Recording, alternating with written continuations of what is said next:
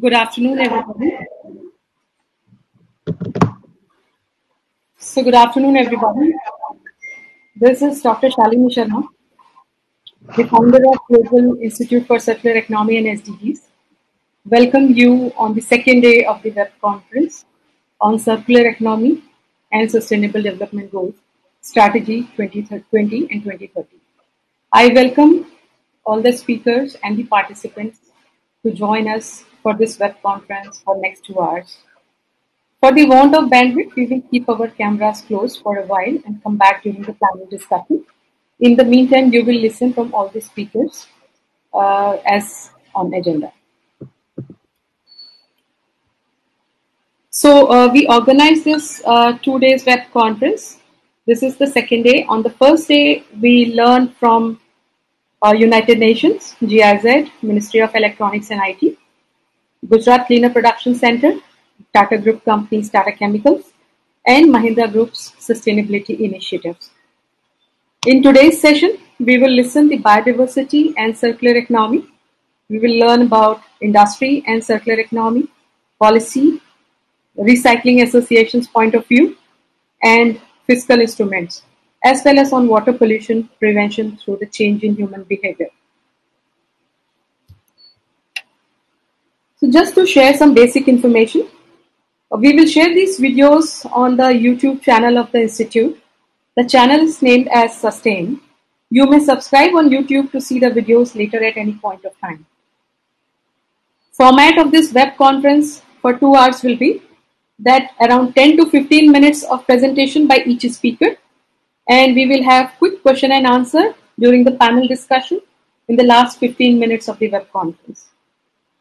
To post the questions, you may write in question and answer box that is given on the right side of your screen. And uh, we will take the questions if relevant to the speakers on the dais.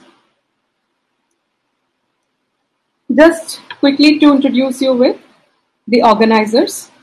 This web conference is organized by Institute for Circular Economy and SDGs, an NGO that is registered with Darpan Niti Aayog, Government of India. And another partner is Sanshodhan and E-Waste Exchange, a private limited company working on implementation of e-waste management rules and partnered with few state governments assisting the implementation of e-waste management policies for governments and industries. We are here for next two hours together. So network with each other by sending the messages or the contact details if you would like to and contribute to SDG 17 that is partnership for goals. These two hours should be meaningful for you and for all of us.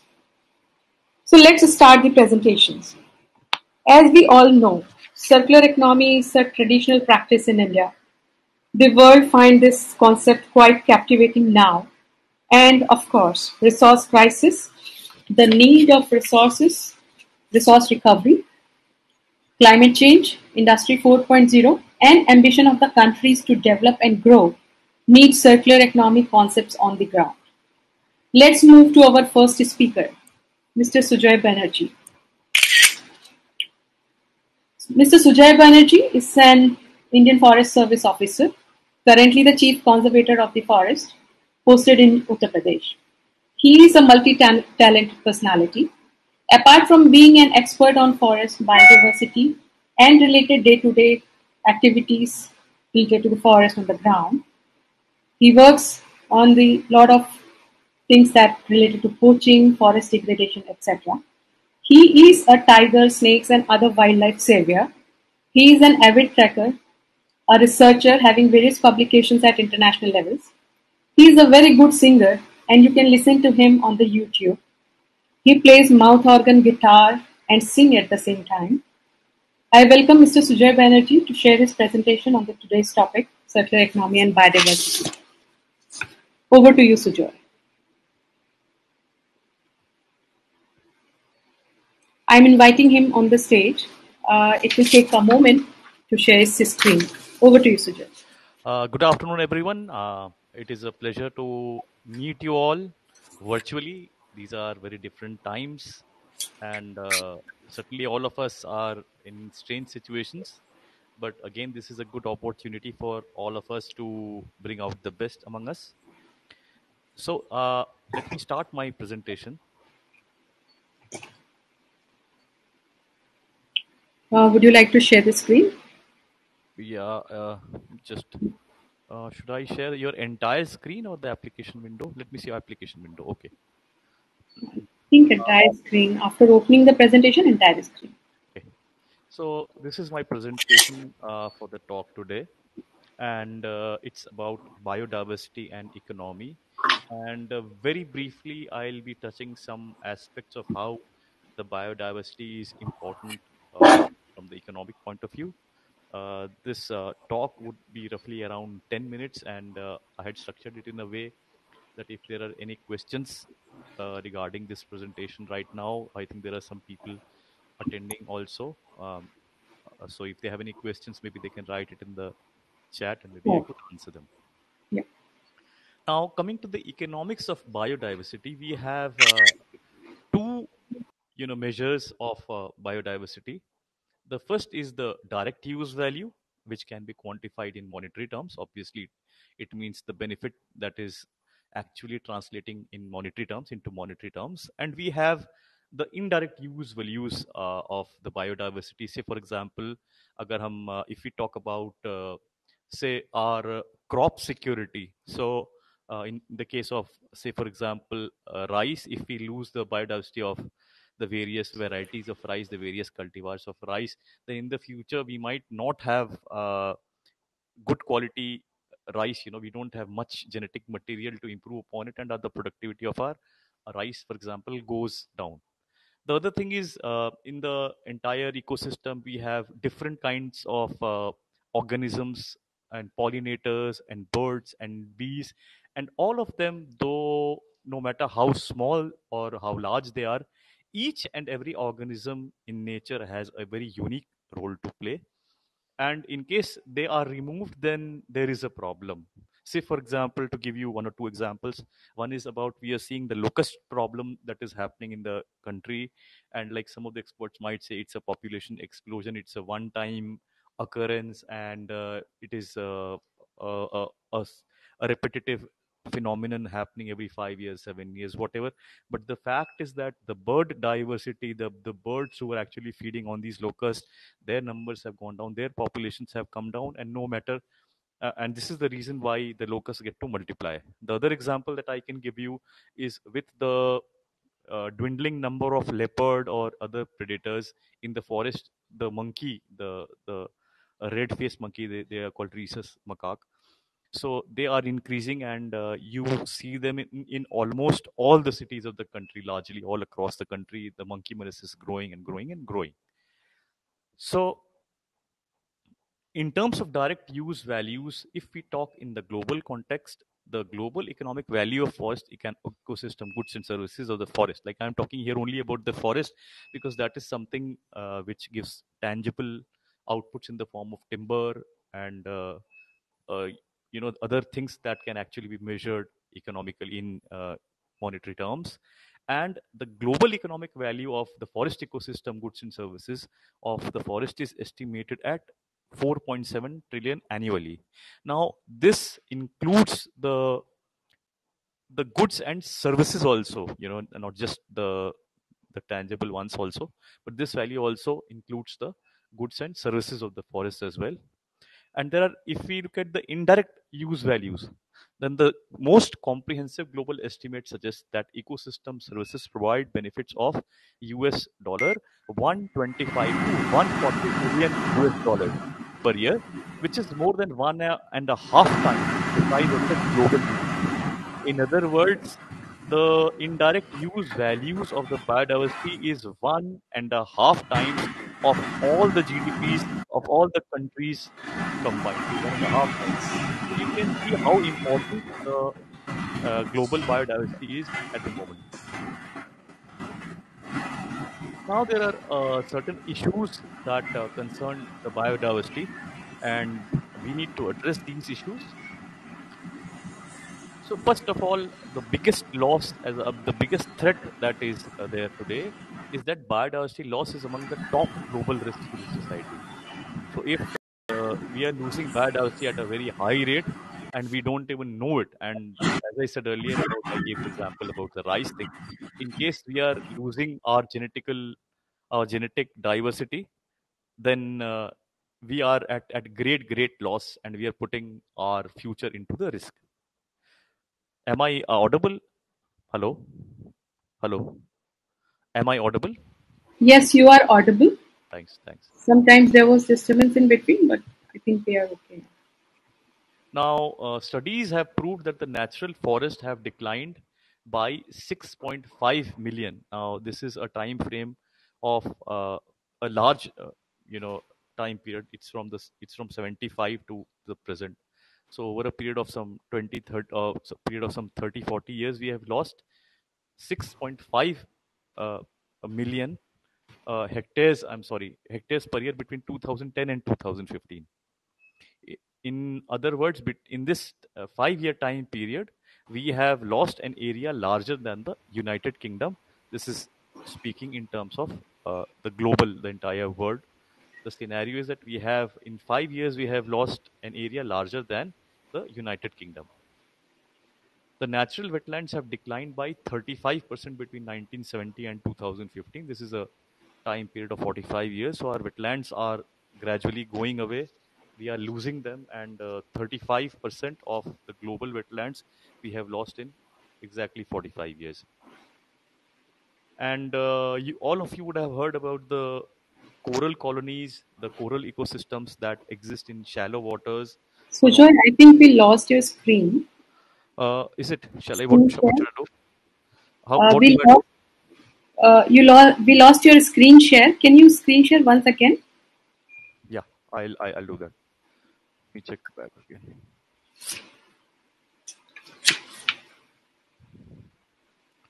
Uh, is it visible now? Uh, not yet. Yeah, it's coming up now. Yeah, yeah, it's good now. Good enough.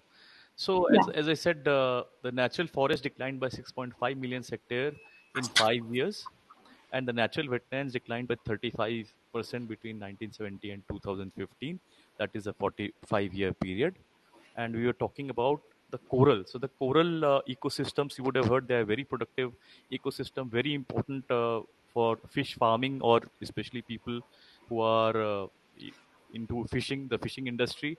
So 30% of the corals are now at the risk from bleaching. You would have heard about uh, corals being bleached and gradually dying off. And uh, local extinction of 60% of vertebrate population. Say for instance, the Asiatic cheetahs were found in India before, but like uh,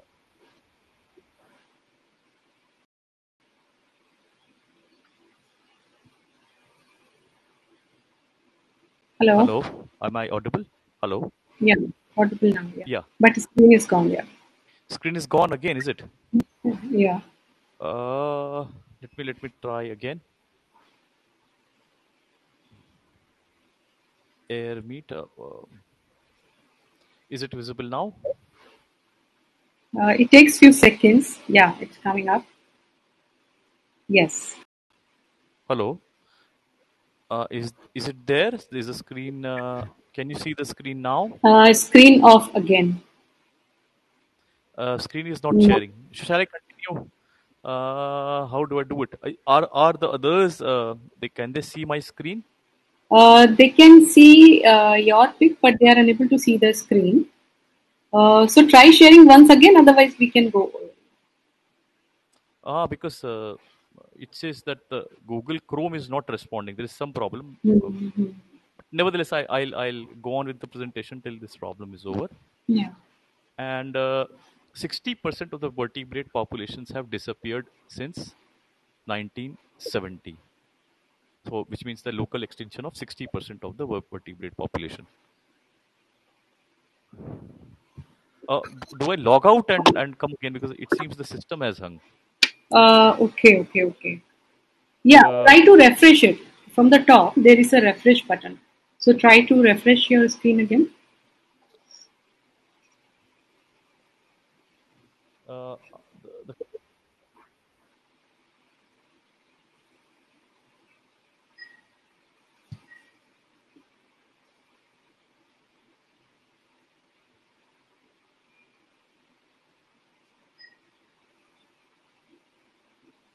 Uh, now? Uh, yes, you are back. And try to share the screen once. Now? Your voice is not clear. Now? Uh, screen is coming up. Your voice is not clear. Uh, Yes, yes. yeah, okay. Now let's look at uh, what is the way forward and how we can address the issue. The first thing is about a global biodiversity framework, uh, which is about effective international action to halt and reverse biodiversity loss. In other words, the different countries of the world they come together and form a global biodiversity framework. A lot of work has already been done, and I'm sure some of you might also be aware about it. So, a lot of work has already been done about the global diversity framework, uh, biodiversity framework in uh, across the countries. Now, there are certain policy instruments that can be used for biodiversity. See, for example, if we look at uh, the petrol pricing in Delhi, then a certain uh, amount of cess is being charged. Like you, every liter that you're putting into your vehicle, you are paying a certain amount of money as environmental cess. So that uh, money that goes to environmental cess is supposed to be pumped back for environment. So simply, we can have some kind of policy instrument for the biodiversity to you know kind of uh, ameliorate or help the issues concerning biodiversity. And uh, this is the most important thing because the kind of finance that is required for uh, mitigating the biodiversity loss is quite uh, magnanimous. And therefore we have to scale up and align finance for biodiversity from all sources. And this also means that different countries have to pool in their resources and uh, some countries who are not biodiverse rich they need to actually pay for uh, other third world countries like including india to save their biodiversity. So basically it's it's uh, global financing for uh, saving the local biodiversity. Now uh, there, are certain subsidies which are harmful to biodiversity and uh, subsidies also includes policies. So these uh, policies or subsidies which are harmful to biodiversity need to be identified and uh, some uh, kind of corrective measure has to be taken at the policy level. And there needs to be string- stringent check on development projects in biodiversity areas. So many areas you would be especially reading about uh, some mining projects coming in assam and arunachal pradesh and hydroelectric projects in the northeast and uh, in chhattisgarh uh, some mines are coming up in very dense forests so we need to have some kind of policy not just in india but globally where uh, we say that like this area is biodiversity rich and it's an absolutely no-go area for any kind of developmental activities. And uh, though we have so much of biodiversity, we unfortunately do not have much of uh, the the studies to document the value of the biodiversity and the impacts of the businesses and financial organization. If, for example, somebody is uh, running an industry in near to mangrove forest and the water is polluting the effluents are polluting the mangrove ecosystem so we do need to understand the impacts and there are like more like uh, you know release of uh, toxic gases or obnoxious gases into the atmosphere or even for other kind of uh, industries uh, they have carbon footprints all across uh, you know, and some have large carbon footprints, some have uh, lesser carbon footprints. And I would like to end my presentation by saying that if you really think the environment is less important than economy, then try holding your breath while you. Today we are losing your voice. Uh, is, I is, can you see the slide? Can you see the slide? yeah, yeah, we can see the slide and now voice is clear. Yeah, it says that uh, if you really think the environment is less important than economy, try holding your breath while you count your money. So thank you very much. And uh, if there are any questions, I'm happy to take the questions. Thank you. Thank you so much. Uh, so we are moving ahead with the next speaker. I think it's a wonderful presentation, and the and the strategies that are suggested are very useful.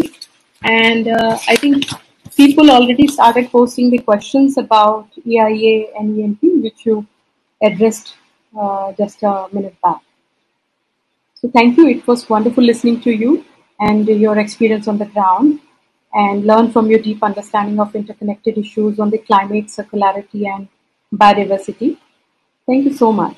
So um, uh, currently we are facing some issue with uh, uh calling our uh, next speaker on the dais, Mr. Rajesh Sharma from Hero MotoCorp.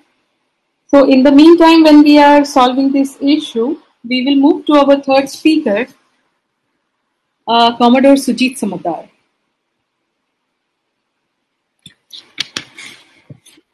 So, uh, we experience the environmental sustainability challenges get amplified when reached to the government because significant investment and efforts are made by the government departments to manage the natural resources like land, air, and water for the sustenance of business and society. And of course, the waste that gets generated every hour in thousands of concrete jungles throughout the planet. I welcome our next speaker, Commodore Sujit Samaddar, former consultant, former consultant, Niti Aayog, Government of India, who led development of various policies and projects at Niti Aayog. And he is advisor of various large associations like MRAI, strategic advisor for aerospace and def at FICCI, and he is also the secretary of Society for Aerospace, Maritime and Defense, Defense Studies. We know Commodore Sujit Samaddar when the office of CEO of Niti Aayog Government of India advised us to connect with him. It was around three to four years back, and thereon, along with him, we from Sanshodhan and E-Waste Exchange developed a model that is named as National Resource Recycling Platform (NRRP) for India, and submitted this model to Niti Aayog in 2018. Not only we developed this model along with him, but we implemented start implementing we started implementing it with the e-waste management, currently operating as e-wasteexchange.com. That is a digital infrastructure present pan-India and having a physical presence in around 45 cities for online aggregation of e-waste. I call upon Commodore Sujit Samaddar to share about the material recycling policy of India. Over to you, sir. Thank you very much for your kind words of introduction, and uh, I really recall our association from Niti Aayog days when we worked together to uh, try and bring material recycling and resource circularity to the center stage of uh, India's economic growth and developmental model. Um, so, with that words, I would like to make a short presentation uh, on uh, on um, I think it's the entire screen or it's the application window. Yeah.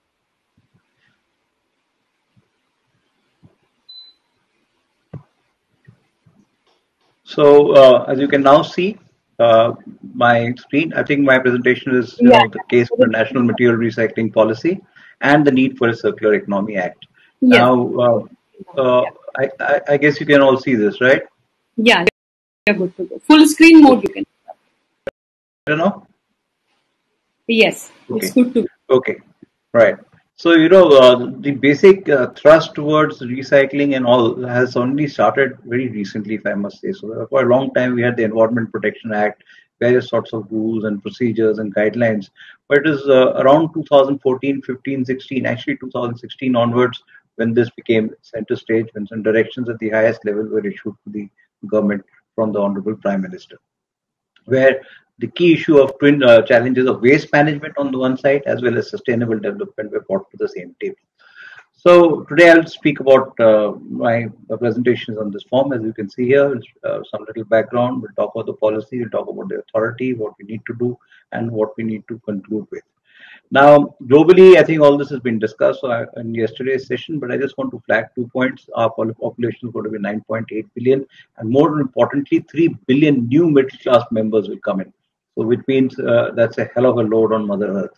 Material demand will rise from 86 billion tons to 185 billion metric tons. And I think this is an extremely conservative estimate. Will probably be closer to one and a half times that figure by 2050. But uh, I think countries have now woke up to this fact and they are now looking at uh, reconciliation between the economy and environment. And there are lots of uh, activities that are taking place. EU has developed a circular economic action plan. There's a British standard on uh, for sea industries. There's a South uh, South Korean initiative on circular act. many things are happening across the world. But uh, essentially, the circular economy is more closely linked with resource circularity. And from the proceedings that were ongoing yesterday, I want to highlight it is no longer about resource efficiency, which is a 1990s, early 2000 uh, sort of approach, but it is about resource circularity.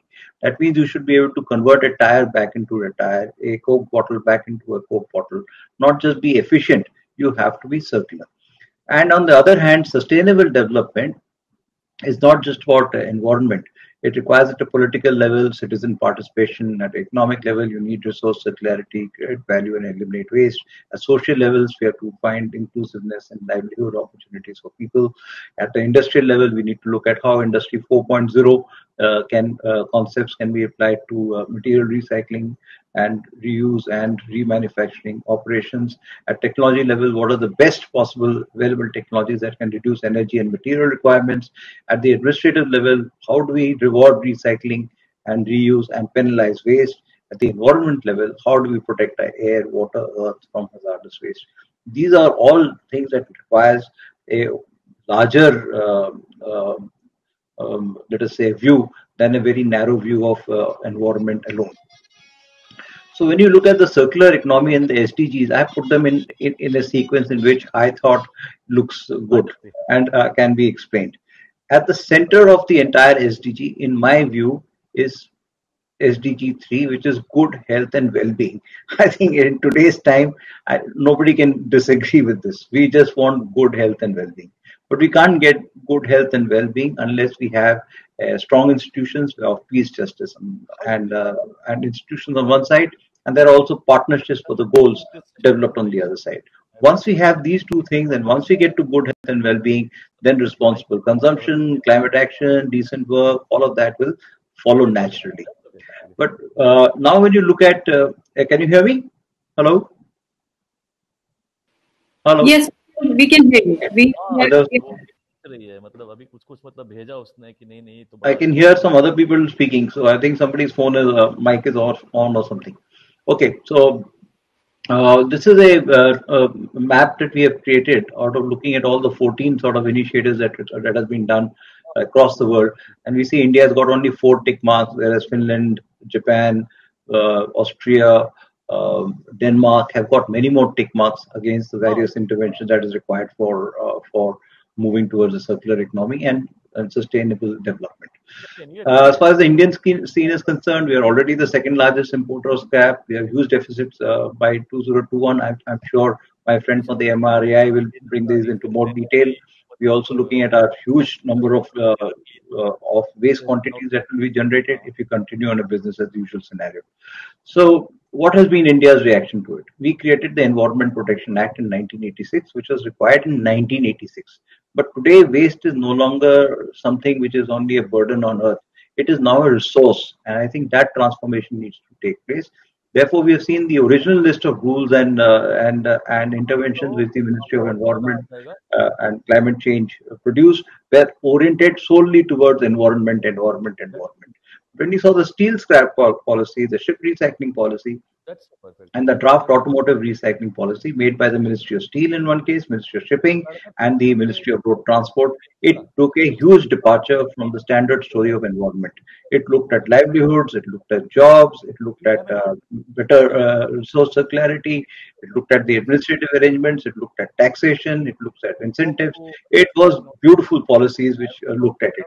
So that is a transformation that the steel scrap policy, ship recycling policy, the draft automotive recycling policy has uh, taken departure from the erstwhile uh, purely environmental uh, point of view that was going on. So the key drop was uh, waste disposal environment concern was the central focus. It did not look at the rest of it. It completely forgot about the sociological and societal transformation of the recycling workforce and how do we bring them into the, community. It marginally touched on information awareness and communications for community participation very marginally. It did not view this as a potential industry. It did not organize itself as a workforce and mostly it was impractical and unimplementable. I don't want to talk too much about it. The latest uh, EPR guidelines for plastics is a is a laughable document. So I mean that is the sort of stuff that is being going on. So we need to figure out better ways of organizing our uh, waste into a resource and and uh, some benefits. So this is the standard thing. I'm saying I want to show you these pictures because this is also India. These are photographs which have been taken by me personally when I went and visited almost uh, 28 recycling units across India. There's an input, there's a process. See the output. How beautifully stacked up there. This is what happens to paper. But what is the ground reality? This is also a reality. This is also reality. These photographs have been taken by me. This is also reality. So there is a disconnect between what we are saying. When you look at C&D recycling waste, we are at 5%. Singapore does 100% recycling. But the record may be dismal, dismal, but there's huge headspace for growth and there's huge headspace for entrepreneurs and businessmen to tap this opportunity to make them into viable, sustainable businesses.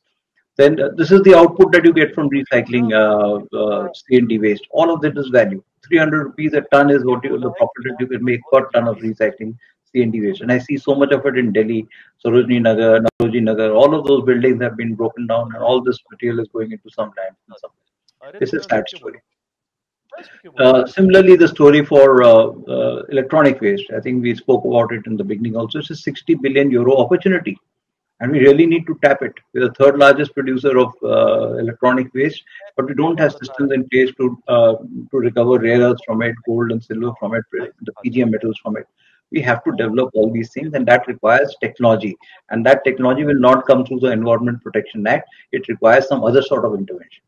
When you look at the reality check on also on what the current national recycling rates are against global benchmarks 40% for steel 30% for aluminum this is not a nice story. Lead we, we, we have done well. I know PET we do well. Paper is dismal at 27%. I'm sure Amar will bring out many more statistics here when he's uh, making his presentation. So on ground, these are the stories, the key obstacles to realizing the opportunity. We don't understand the scrap material supply because the supply chain is sort of loose. We don't have sustained implementation methods.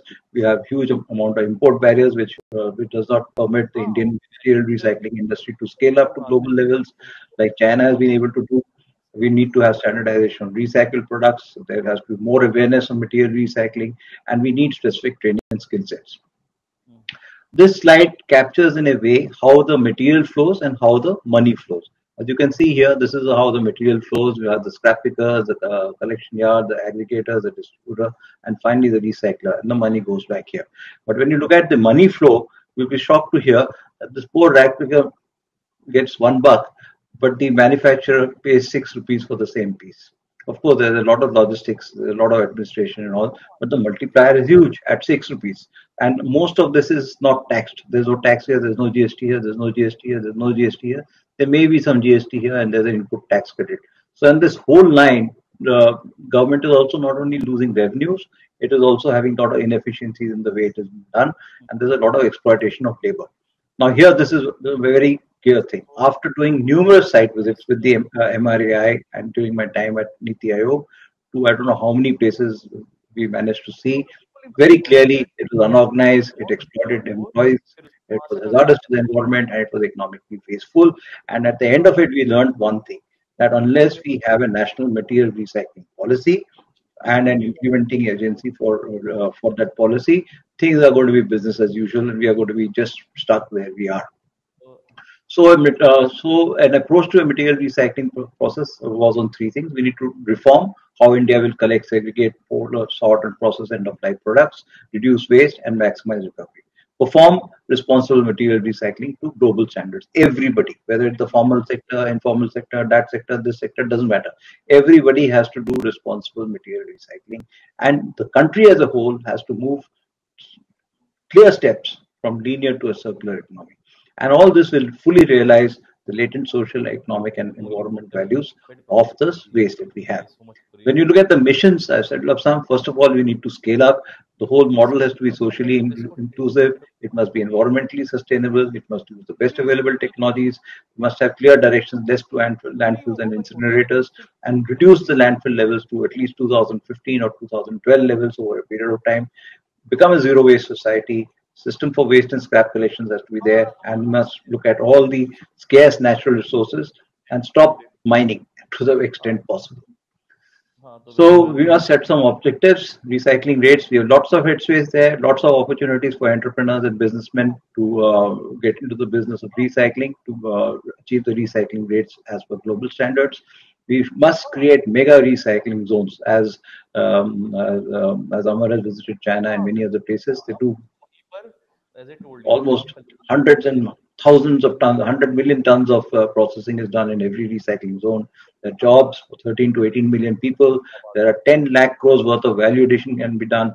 We can meet the SDG goals, and it's a hell of a lot of work that we can do socially for participation of citizens and the socio-economic integration of the informal workforce. Mm-hmm. So when you look at it on a more segmental basis, some targets have been set here. This is on the slide on plastics, container glass, paper, metal, construction and demolition waste, tires. So all of these policies will have to have objectives. And these objectives from here will come to the policy prescriptions as to how do we do it. Adopt the circular economy, have specific roles and responsibilities to various stakeholders. That means what the central government will do, what state governments will do, what uh, recyclers will do, what aggregators will do, what the CPCB will do, what urban local bodies will do. We should know clearly ki kiska uh, kya role kahan pe hai kiska. That should be very clear. At the moment, everything is diffused. Everybody is doing everybody else's job, and consequently, we are just floundering around we need to also upscale our material recycling industry to global standard. That means a lot of technology and processes have to come in. We need to really aggregate our waste because I see them every day. In fact, I have walked with my waste because uh, to see how this actual work takes, and that was a great experience. It took me a day of walking behind that cart, but I understood how the system works. So I like to be hands-on. It was really nice to do that, and we need to see the circumstances in which this informal workforce works. We need to provide them protection. We need to give them assurance and security so that they become better. We cannot have this informal workshop from generation after generation still living in poverty and and in bad. This is not correct. We have to self-help them, and that requires an institutional framework. We spoke about a uh, recycling exchange, and we also need to have a good reverse logistics exchange. Today, the, uh, one of the key challenges for material recycling is the huge logistics cost. So some other policy prescriptions are here. We must extend EPR to other products. We must have world-class mega recycling zones, local material collections. We have public procurement of recycled products. One of the areas which needs urgent intervention in terms of uh, public procurement is in the paper industry. I can't imagine why should uh, uh, CBSE board papers and answer books be not made out of recycled uh, product, but by rule they are disallowed. We must have authorized recyclers and traders. We must introduce differential GST and custom duties, create an NMRI, have establishment recycling officers. The government has to take the first step. In all government organizations, there has to be a designated officer whose main job is to ensure responsible recycling and introduce it in the academic constitutions.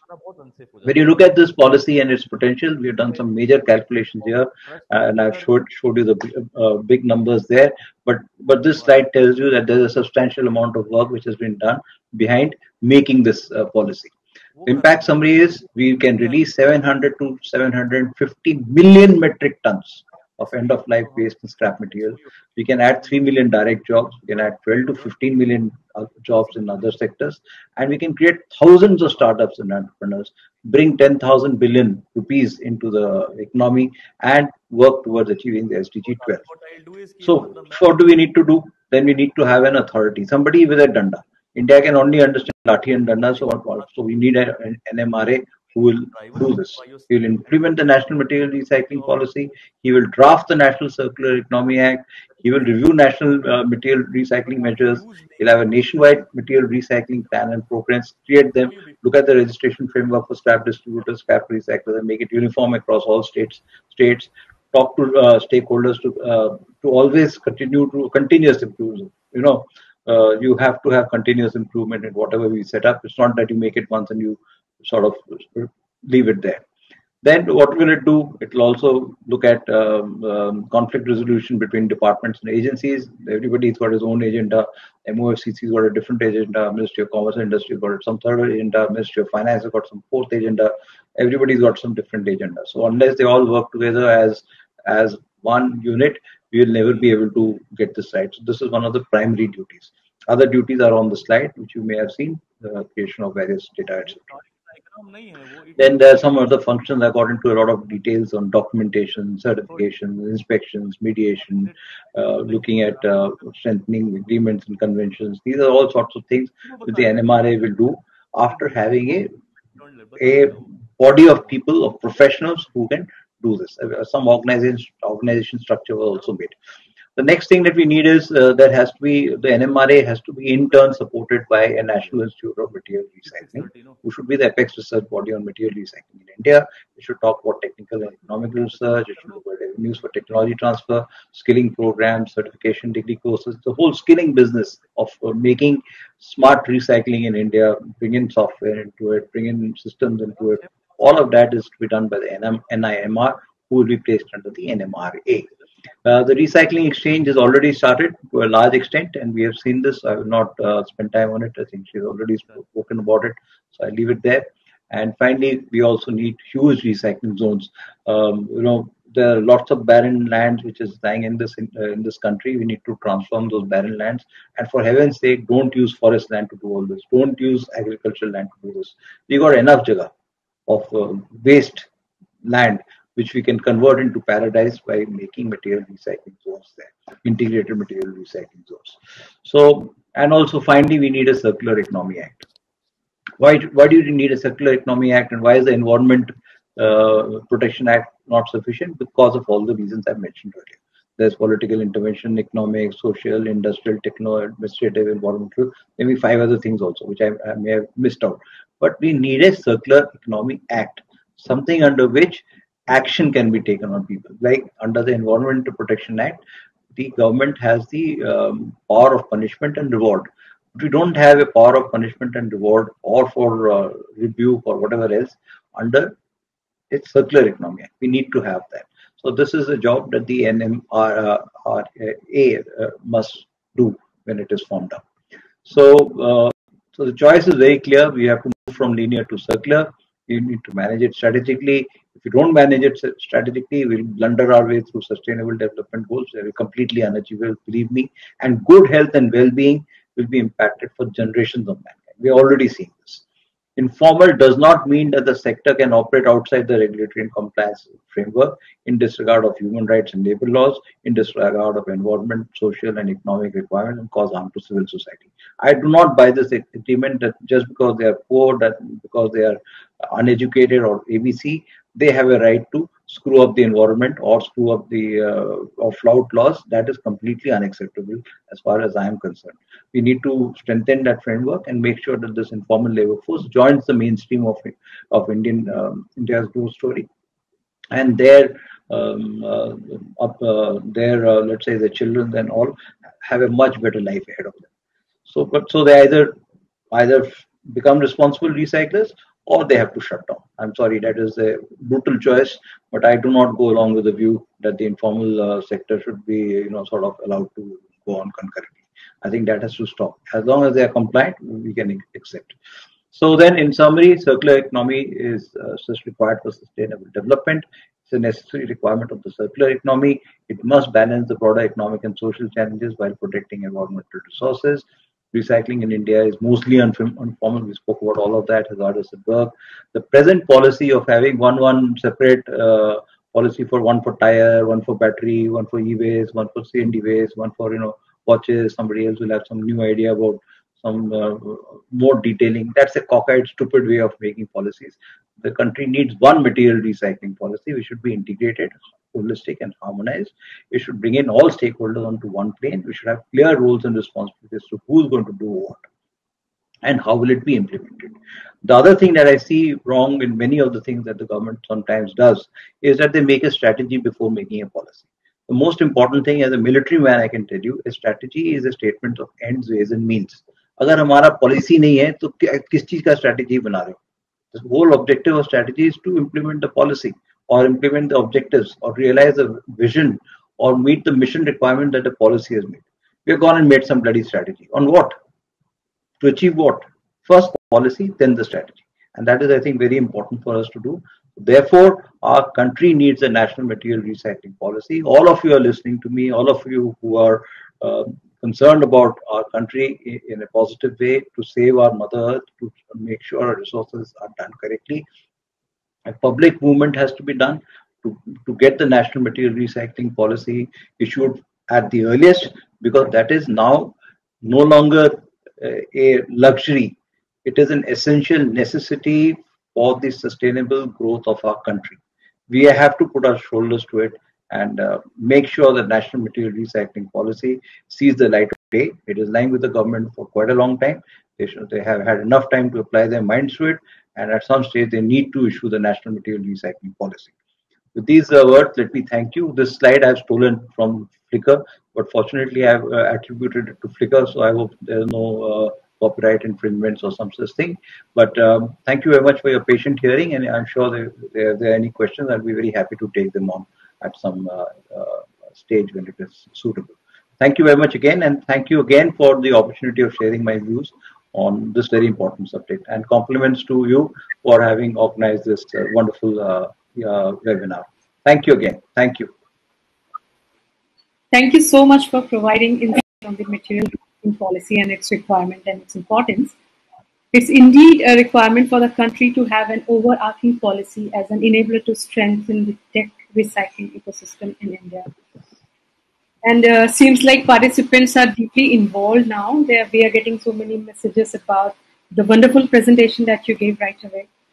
Uh, request participants to keep sharing their questions, questions, and we will be taking up your questions during panel discussion before summarizing and before concluding this web event. Uh, thank you, sir. Uh, please uh, be with us for the panel discussion, and uh, uh, after the all the presentations, we will be back for the panel discussion. So thank I you. think I think unfortunately we will not be able to hear from Hero Motocorp because the speaker is in office, and we are seeing some kind of a firewall or some issue. Uh, so we are unable to get him on the dais. Uh, so we have speak. We are now moving ahead to the uh, next speaker, Mr. Sandeep Bhattacharya. Mr. Sandeep Bhattacharya is here with us. Yes. Uh, moving ahead to our next speaker, Mr. Sandeep Bhattacharya is an Indian pro India project head for climate bonds, an investor-focused NGO from United Kingdom, mobilizing the debt capital markets for the climate solutions. Climate bonds have some great innovative solutions for mobilizing debt capital as enabler for the climate solutions. His play, he plays he play key role to enhance the relationships among various stakeholders, including banks and financial institutions, credit rating agencies, uh, uh, broker firms, consultancy firms, educational institutes, philanthropies, and corporates, and has been instrumental in development of green bond market in India Bangladesh, Nepal, and Sri Lanka. Over to you, Mr. Sandeep Bhattacharya. Uh, am I audible? Yes, you are audible. Yeah. And you are visible. Yeah, thanks a lot. Uh, uh, you would like to share the screen? Yeah, uh, yeah. Uh, would you would you do that? You have this this thing, right? Oh yes. Oh yes, just this.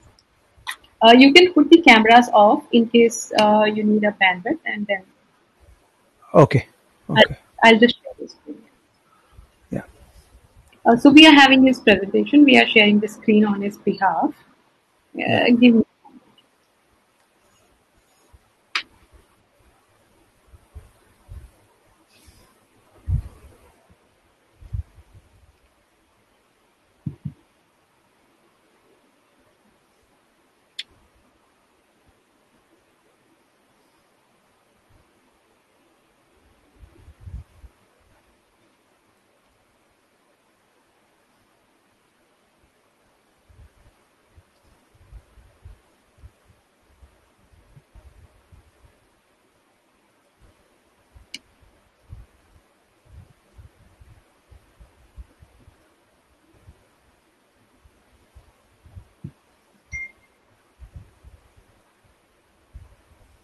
Yes.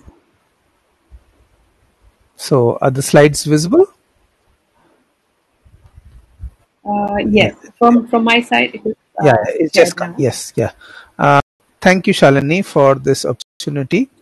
And today, I would just like to introduce you to our organization and how uh, what we are doing for uh, the environment generally through finance. Uh, and so we are we work towards debt capital markets for causes. Now, why why the debt capital markets? Uh, because it's the largest source of globally. So close to trillion dollars is present in the debt capital markets.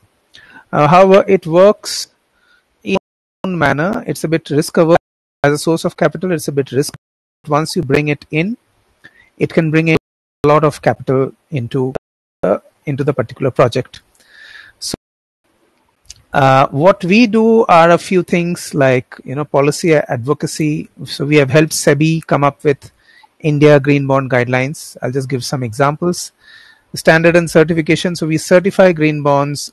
So SBI, State Bank of India, has done three green bonds with our certification. Uh, and Renew Power, the IPP, the India's largest IPP, is currently doing its seventh green bond with our certification. Uh, and we do capacity building, like, you know, this is one of the stuff of capacity building. In terms of market intelligence, we track every green bond in the world. Uh, and our list of green bonds is often referred by uh, various financial institutions uh, for evaluating their green portfolio. Uh, next slide, please. Uh, now, before we go too much, let's understand, you know, the basics of what is a bond. Uh, a bond, if you go to the to the diagram below, the initial part of a project is high risk project finance, uh, which is bank loans or equity. And once you know the timeline has elapsed and the assets are mature, which is in the second part on the on the right hand side, then you know it refinances into a bond. That is generally the case. Though there, I have dealt with bonds which are project finance bonds as well. It generally requires some kinds of enhanced somebody coming up with a project implementation guarantee. Uh, and there are things written there like it could be in many currencies. Most green bonds out of India are offshore and are in foreign currency. Uh, next slide, please. Yeah. So, what are green bonds? Well, so that was a bond, but what are green bonds? Green bonds are basically instruments. It's a bond where there's an additional that the proceeds can be for green causes only. Uh, it can be any entity, and it does not necessarily mean that the entity is completely green. So, the National Thermal Power Corporation has issued green bond, which we have certified, and it was the main uh, issuer. National Thermal Power Corporation solar and wind assets, therefore it was eligible. Uh, a green bond doesn't matter if percent or even 90% of National Thermal Power Corporation is actually uh, thermal. Please.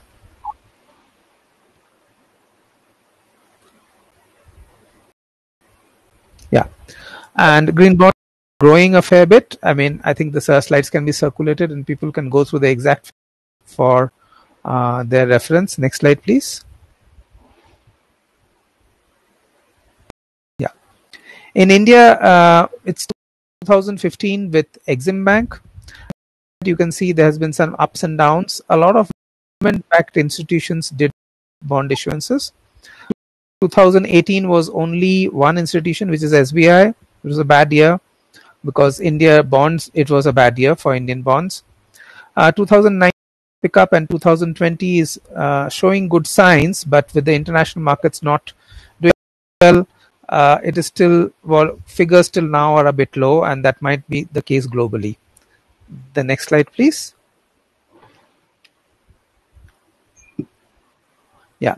So while uh, uh, things are not happening that well this year there are reasons why green bonds are advantages and you can see exim bank and state bank of india uh, both stating the advantage and the fact that if they were able to get a slightly cheaper cost or a competitive cost. Uh, uh, in you know these are both uh, very conservative institutions, and if they are like this, well, there must be something behind it. Is of course something which I was saying. Next slide, please.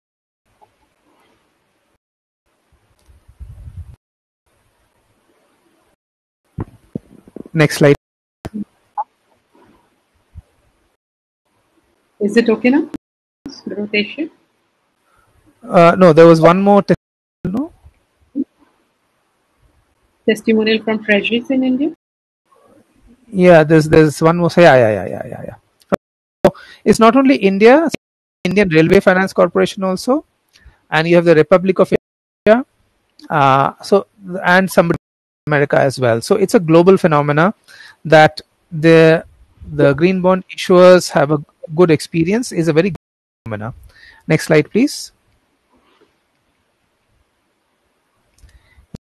And you can see that it's been growing globally, but also in Asia. Though 2020, as you can you know, is the numbers are not that great. I think he's a leader. I know it's not a nice thing to say, but it is so. Uh, next slide, please. Now, why does anybody issue green bonds? You can see most 98% of the issuers said that it attracted new investors. Now, you'll ask me, what is this new investors? Uh, the new investors are dedicated green funds. You know, there are funds who who will invest only green. There are plenty of such funds, uh, and that is the case. Uh, others things are you know enhanced visibility, cheaper pricing, contribution to strategy, higher demand. Uh, there is now a little bit of evidence that even if prices go high if you if somebody issues a green bond. Uh, next slide, please.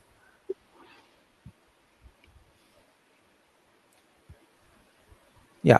So now, uh, how does a circular economy enabled by green bonds? So we have come up with a waste management criteria. Uh, this is a very short presentation on what is covered and why. So, and some of the issues that we faced in coming up with the criteria. It is not a detailed reference of uh, detailed explanation of the criteria because there's not sufficient time to do something like this in such a short presentation. You can always get in touch with me for if you know if you're interested. So uh, waste management through municipalities has been a significant portion of the green bond market. And waste management accounts for around 5% of global emissions. So therefore we came up with a criteria for waste management. We are in touch with a few possible issuers in india who are in touch with us for you know issuance. Yeah next slide please. Yeah. Now selected municipal solid waste only. Uh, i heard the commodores present there's a lot more waste going around construction demolition excavation and all that stuff. Uh, we didn't find enough robust data to come up with a standard uh, criteria for that.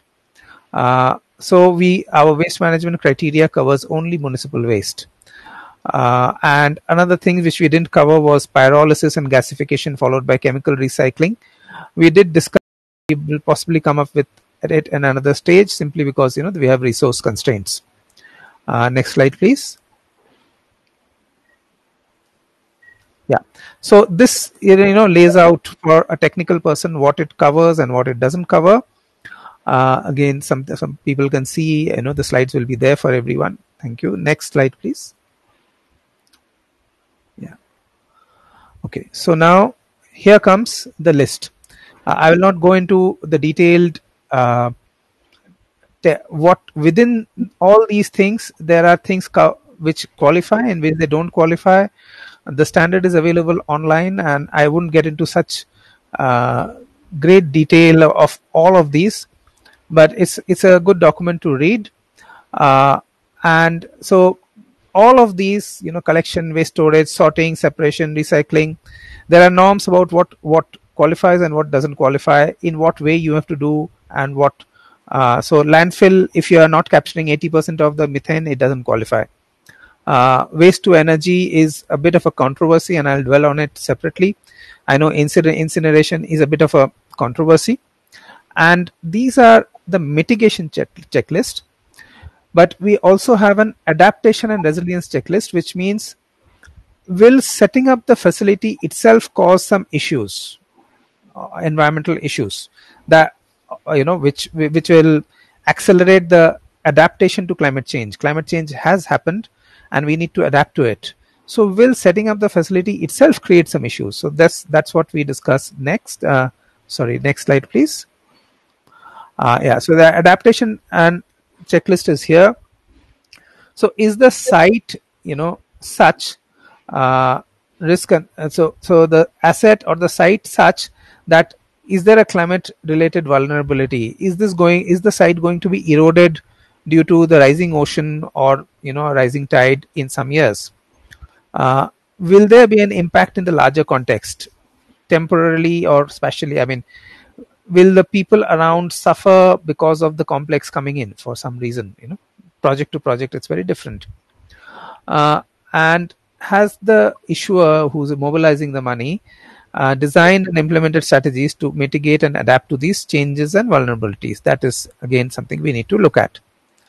Yeah, and the next slide, please. Yeah. So waste to energy is a bit controversial, as I said, uh, and it's it's slightly what what is known as lower down in the waste hierarchy, uh, and uh, people told us that look, you shouldn't have it in your criteria because uh, there are greener ways of doing things. And uh, therefore, if you put it in your criteria, then it will disincentivize the other greener ways of doing things like recycling. Uh, but however, the, while we are aiming towards a circular economy, uh, we really can't have everything to be recycled. Uh, so even with the countries with lots of resources, which is the European Union, uh, have not been able to recycle as Commodores uh, this thing said it. so we will need waste to energy. so what we thought therefore was that uh, so long as the emissions. Next slide please. Uh, i think we don't have okay, it. Okay okay okay. Thank you thank you. Sorry. So what we thought is in in a in our uh, criteria what we did was we uh, recognize anything which goes the emission intensity of which is below that of the national grid. In that case we recognize that particular facility thanks a lot uh, for the opportunity to present and the opportunity to hear the other presenters. I'm open to questions or hearing from the other presenters. Thank you. Thanks, Shalini. Uh, thank you, uh, Mr. Sandeep Bhattacharya. Thank you so much for providing insights on green bond, uh, market significance and procedure. Uh, it's great to learn innovative debt instrument promoting climate action on the ground. Thank you so much. So we will call you again on the panel discussion. Uh, let's move to our uh, next speaker. Uh, but before that, we will try to bring Mr. Rajesh on the dais. Uh, maybe if we can.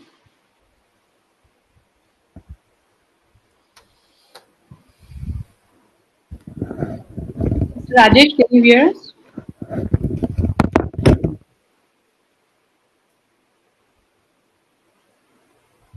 Mr. Rajesh, can you hear us?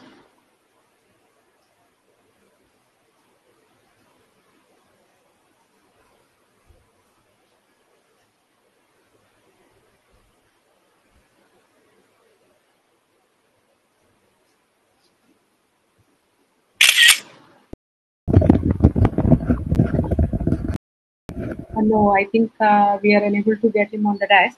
So we will be moving to our uh, next speaker. In the meantime, we are having Ms. Shan Lalwani, the founder of Coco Gusto, a company that produces sustainable household cleaning products.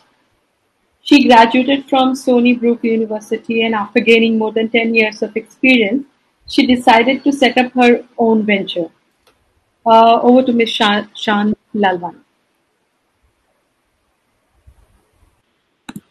Hi, am I audible? Yes, yes. Yeah, hi. Um, I'll just start the screen share.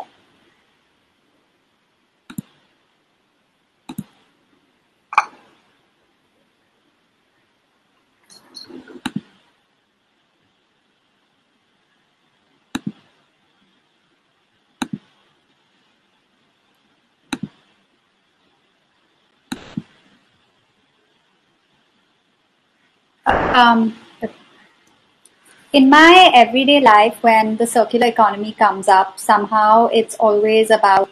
Sorry. Sorry, just one second.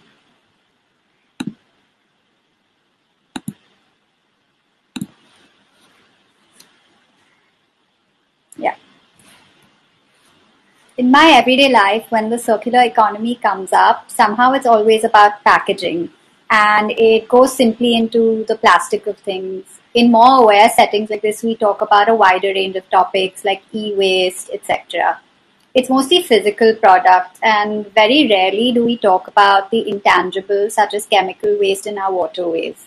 Even then, we are only talking about treating waste, and very rarely even sequestering that waste for reuse. But at the heart of the circular economy lays the idea that designing for waste itself is a flawed system, that we need to go back and rethink design itself. Hi, I'm Shan.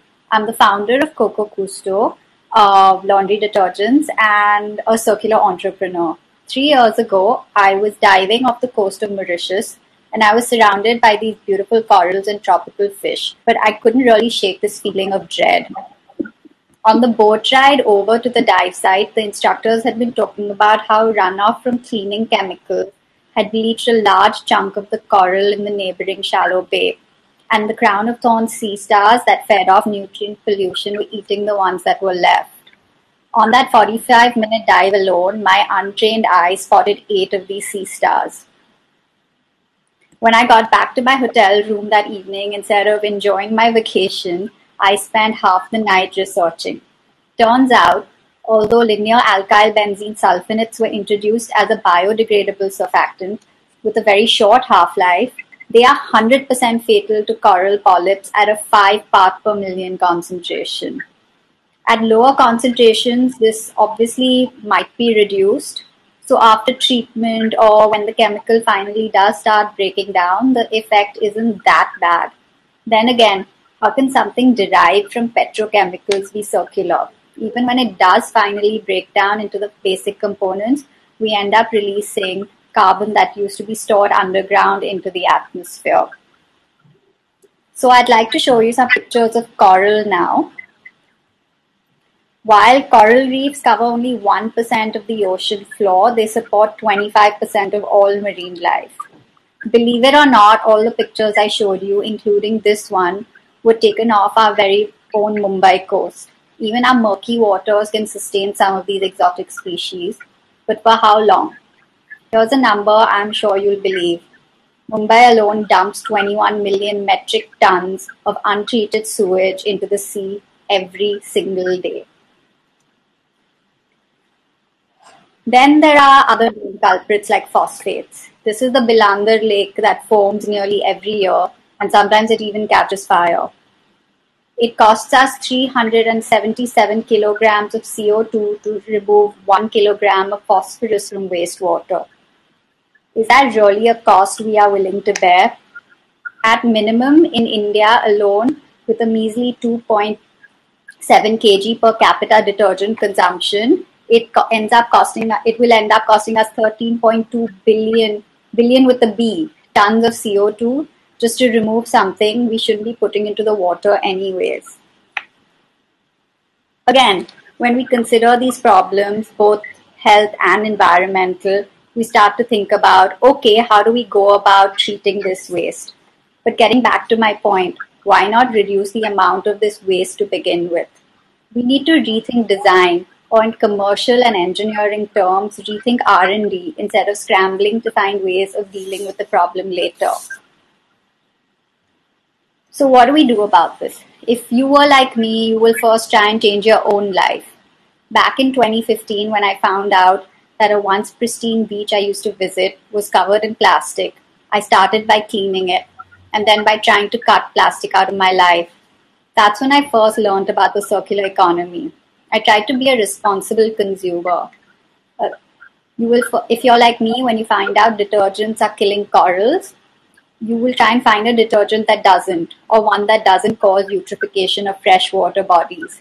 And when the only options you're presented with either come in plastic packaging or cost too much, or ask you to boil a berry from a Himalayan mountain range, you start to question your life choices. There are only a handful of people out there who are willing to go to those lengths, and a handful of responsible consumers will not cause the kind of sea change we need in the coming years. The circular economy is hard to handle. It takes immense effort, self control, and a complete disconnect from the way the modern world is built. I don't know about you, but when I worked in the corporate world, I spent a decade overworking. I didn't have free time to spend on trying to find a solution. Either ways, it didn't exist. The onus lies on industry. While consumers are willing to change, they need options. So, what is the way forward? I've said it before and I'll say it again we need to rethink design. During lockdown, when most industrial activities stopped and our lives came to a grinding halt, we found out that our water bodies ended up cleaning themselves. No government initiative or community action was able to do in two decades what a simple lockdown did in a month. This image is of the Yamuna River just around the 25th of May, um, a month after lockdown. We even heard stories about dolphins swimming off Marine Drive and exotic birds, you know, on people's balconies. We saw bluer skies than we ever have before. In contrast, this is the Yamuna River last year. The way forward involves not just industrial innovation and infrastructural developments, because when one speaks about developments, we speak about them incrementally. Unfortunately, the world doesn't have that kind of time when we look at game changers, we can think of companies like Tesla, who came out of left field and took the electric car out, out of the concept car shows and onto the road. Or Impossible Foods that created plant-based meats. Even when we look at zero waste or packet or package-free stores, it's always small businesses that presented the concept at first, and then were copied by large brands, for example, like Waitrose in the UK. We need to complete erase everything on the drawing board and forget about the world and industry the way it is today. Yes, that is easier said than done. But time and time again, it has been proven that if one wants, one can change. Besides industry, legislation can change too. And again, incremental change isn't enough. Yes, minimum, phos- mi- mi- minimum phosphate requirements in detergents have been reduced to 2.5% recently.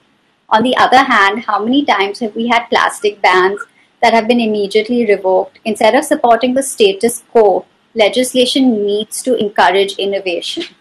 Our government probably spends thousands of crores on cleaning up water bodies. When we look at the cost of building and running sewage and effluent treatment plants, installing booms in stormwater drains, or delegating land to landfills. The number really, the numbers really do add up. If instead we could somehow use these fiscal resources to encourage industries which create waste, which create waste that requires little to no treatment in both production and use. Maybe if maybe then if all if we all change our thinking and habits including the habit of doing things the way we always have we could create a world where we don't just have a couple of months of clean rivers and oceans of blue skies and great air quality. It can be decades and lifetimes. Imagine that. Thank you. Um, so that was um, my plan forward. Thank you shalini for giving me this opportunity um, and your wonderful organization. Thank you so much, Shan, for the wonderful presentation and your journey for saving the water body. Uh, yes, I think the load of detergent on water bodies is too high. As an environment expert, I would like to see that the enhanced use of degradable products among the population at large. Thank you so much, Shan. So we'll bring you back once again uh, for the panel discussion.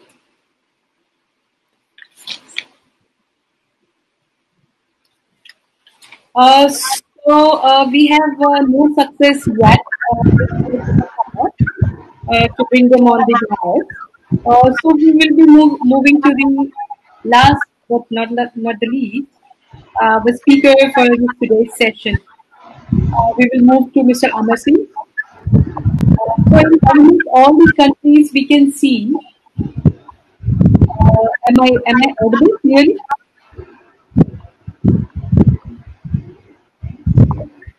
Shalini, your voice is breaking. Am I audible? Uh, yes, you are audible.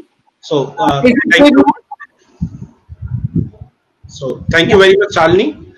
Uh, what a nice speech by Dr. Uh, Mr. Sujit Samaddar, who is also an advisor to MRIA and has a has worked along with MRIA for, on policies like end of vehicle policy, which was made by Ministry of Road Transport and Highway. Good afternoon, everyone. To start with, I would like to give a brief introduction about Material Recycling Association of India, which is the APEX National Association promoting the responsible recycling in India. We are having more than 1200 members, out of which 250 members are foreign members, foreign companies. Uh, all these members comprises of around 20,000 units and these units are employing around 25 lakh people. MRIA started in 2011. For the first six years, we worked only on the metal side, but in 2018, or I can say mid of 2017, uh, Niti Aayog and various ministries insisted that MRIA should include other recyclables under its uh, purview. So we worked and uh, and comprised plastic, paper, e-waste, and other recyclables in our segment. Now, recycling industry is the link in a circular economy which reintroduces a resource into the production chain. A United Nations report estimates that by 2050 world population will reach 9.8 billion and about 3 billion more people will prosper to middle class consumption levels requiring 71% more resource capita than today. In the same time, according to the National Resource Panel report, the total minerals and material demand would rise from 86 to 185 billion metric tons. And to fulfill these, we can't just take our finite resources. We have to focus more and more on recycling and that too in responsible manner. Recycling in haphazard manner always pollute air, water, soil, and degrade the health of workers. And on the other hand, responsible recycling can result in reduction of GHG emission, I, I mean to say greenhouse gases emissions and uh, dependence on non-renewable virgin materials. I'll just give you a quick example that how much by recycling one ton of steel we save 74% of energy, 40% less water consumption, and 58% reduction in CO2 emissions using steel scrap versus primary ore. Recycling one ton of aluminium scrap, 95% energy, saves 92% reduction in CO2 emissions. Recycling a single ton of paper saves 4100 kilowatt of energy, 172 liters of oil, approximately 32,000 liter of water and, an, and on average 17 trees while preventing the emissions of 27 kg of air pollutant. In India, we all are embarking on higher growth trajectories and our resource requirement will continue to increase multifold. Estimates suggest that annual material consumption in India will triple by 2030 compared to 4.83 billion metric ton in 2009. So as the consumption increases, India's commitment toward implementing the UN Sustainable Development Goals number 12 on sustainable consumption and production pattern binds India to sustainable reduce waste generation through prevention, reduction, recycling and reuse by 2030 and through increasing national recycling rate of materials. India produces 62 million tons of municipal solid waste annually, which is likely to reach 165 metric ton by 2030 and 450 metric ton by 2045. But the systems to manage such waste is practically dysfunctional, suffering from organizational inefficiencies, distorted in incentives, weak infrastructure, suboptimal funding. This is the biggest problem which our recycling industry in India is facing. We don't have proper policies, we don't have efficient, uh, our, our waste is going into unorganized sector, the labor who are working, the people who are working in recycling sector are not getting proper incentives and there is a lack of support from government also. In India, the recycling rate are way below international benchmark. Mr. Samaddar has already uh, covered this in his presentation, but I'll just give a glimpse. For packaging and paper, it is merely 27%. For plastic, it is around 75 to 80%. Metal, merely 30 to 35%. And in the Scandinavian countries, the average recycling rate has reached almost 90%.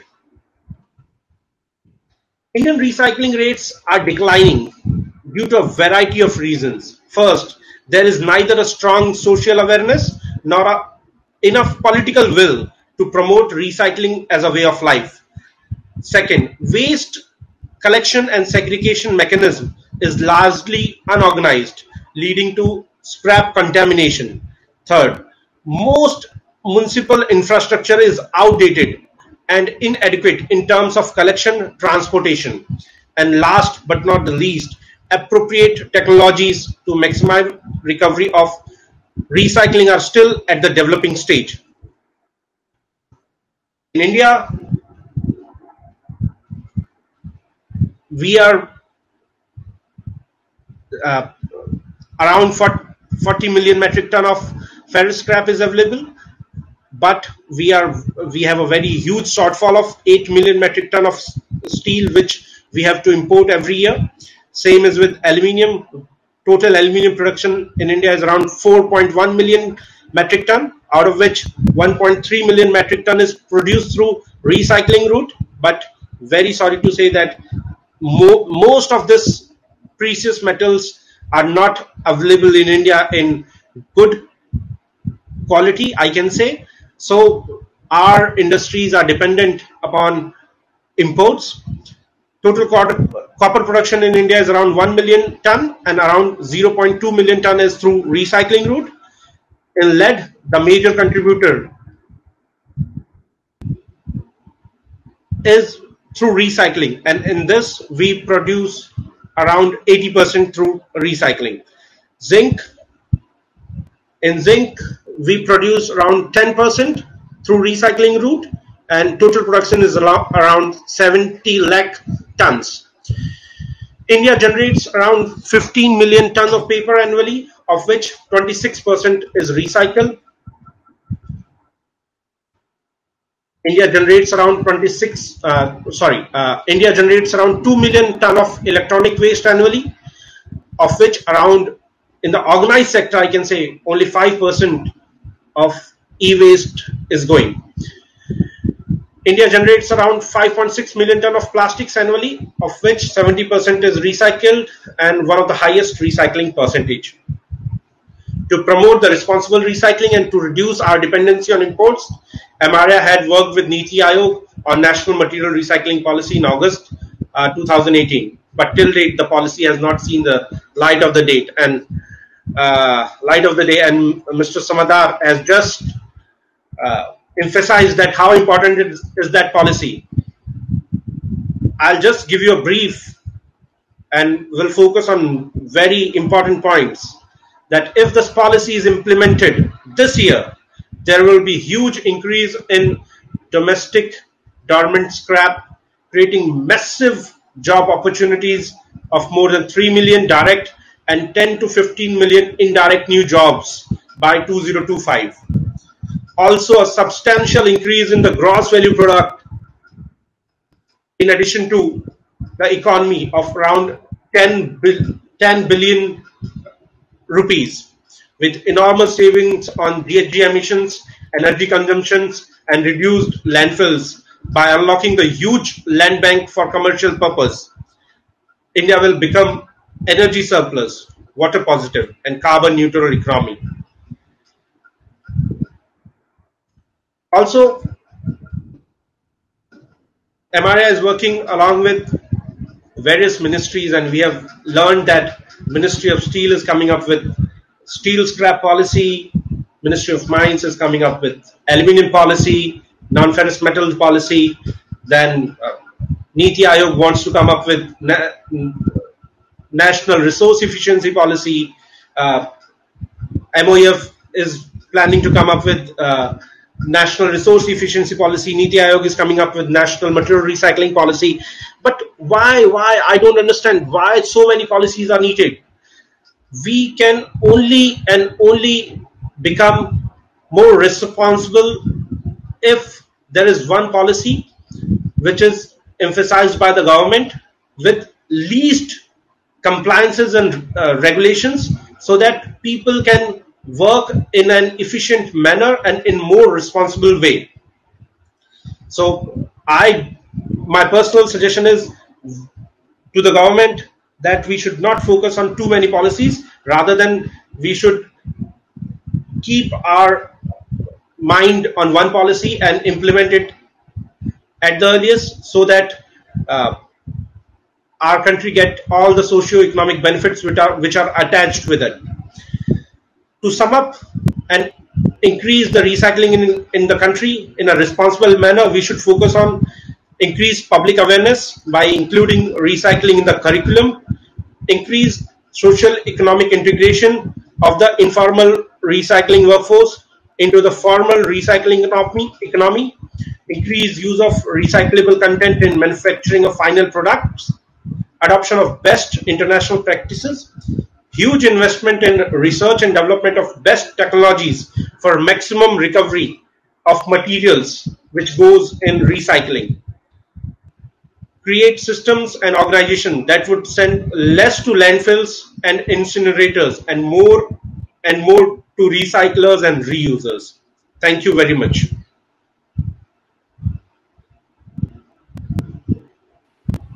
Thank you so much, Mr. Amar Singh. Thank you and uh, uh, this this was the real scenario that is happening uh, at the recycling space and i think yeah it need a bigger boost especially for the not only for the circular economy but to meet the sustainable development goals that are set to meet for set for uh, 2030 so thank you for providing this insights from the point of view of association so as we are uh, moving towards the end of this conference, web conference, uh, we have a lot of requests for providing summary that has happened in uh, yesterday and uh, today.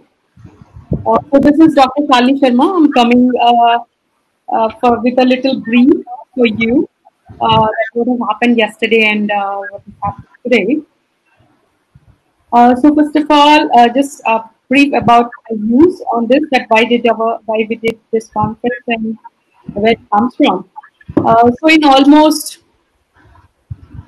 uh, in almost all the countries, we can easily spot that industrialization, overproduction, increased purchasing capacity of society, and overconsumption lead to the linear economy, that is make, sell, and throw economy. Linear economy leads to the increasing size of dump yards, marine litter, climate change, ecological disturbances, and started posing social, environmental, and financial challenges at various levels. And it's getting intense every year, and now started making impact on the very existence of mankind. This is the reason we set up this Institute for Circular Economy and SDGs as an NGO in June 2018. And we invite you all to join us by creating a revolution to meet Sustainable Development Goals 2030. And that's how we named this conference Circular Economy and its Sustainable Development Goals Strategy 2020-2030 during this decade of action. Uh, so uh, we will take a quick summary and then we will go to uh, question and answer. I'm taking you with the, uh, the journey that we took yesterday and today. Uh, during these two days of web conference on the topic uh, we had we provided some deep insights on the current status on the such subject and avenues ahead. We learned from around seven seven speakers yesterday and six, five speakers today. Unfortunately, we could not have Hero MotoCorp with us. We we planned them, we scheduled them with us. So total 12 speakers who shared their visions, vision, mission, plan, and strategies on the subject. So we started with Ms. Shabnam Siddiqui from UN Global Compact, who shared about the efficacy of circular economy in New Now. Then we moved to Dr. Rachna Arora from GIZ, who shared about the draft National Resource Efficiency Policy and how critical it is to have the involvement of various ministries to implement such cross-sectional and cross-functional policy. Then we learned on e-waste management policy, the technologies, the status, the issues in the sector. We heard from Dr. Sandeep Chatterjee, a scientist F from Ministry of Electronics and IT. Thereon we heard on circular cities and requirements over and above the technological mod technical models of circular economy, where I shared about the importance of the leadership, governance, plan and design system, standardization and industry 4.0, and the framework that have potential to take the circular economy vision for implementation on ground, implementation on ground for the for making the real city, circular cities for a better tomorrow. Thereon, we learned from Dr. Bharat Jain, Member Secretary, Gujarat Pollution Control Board, about the initiatives taken in Gujarat to enhance the cleaner production practices in small and medium scale industries. Then we heard from Richard, Dr. Richard Lobo from Tata Chemicals about the best practices in circular economy chemical sector as well on the new product that is launched from Tata Chemicals and it is named as Inspirico. That is the world's first branded cobalt.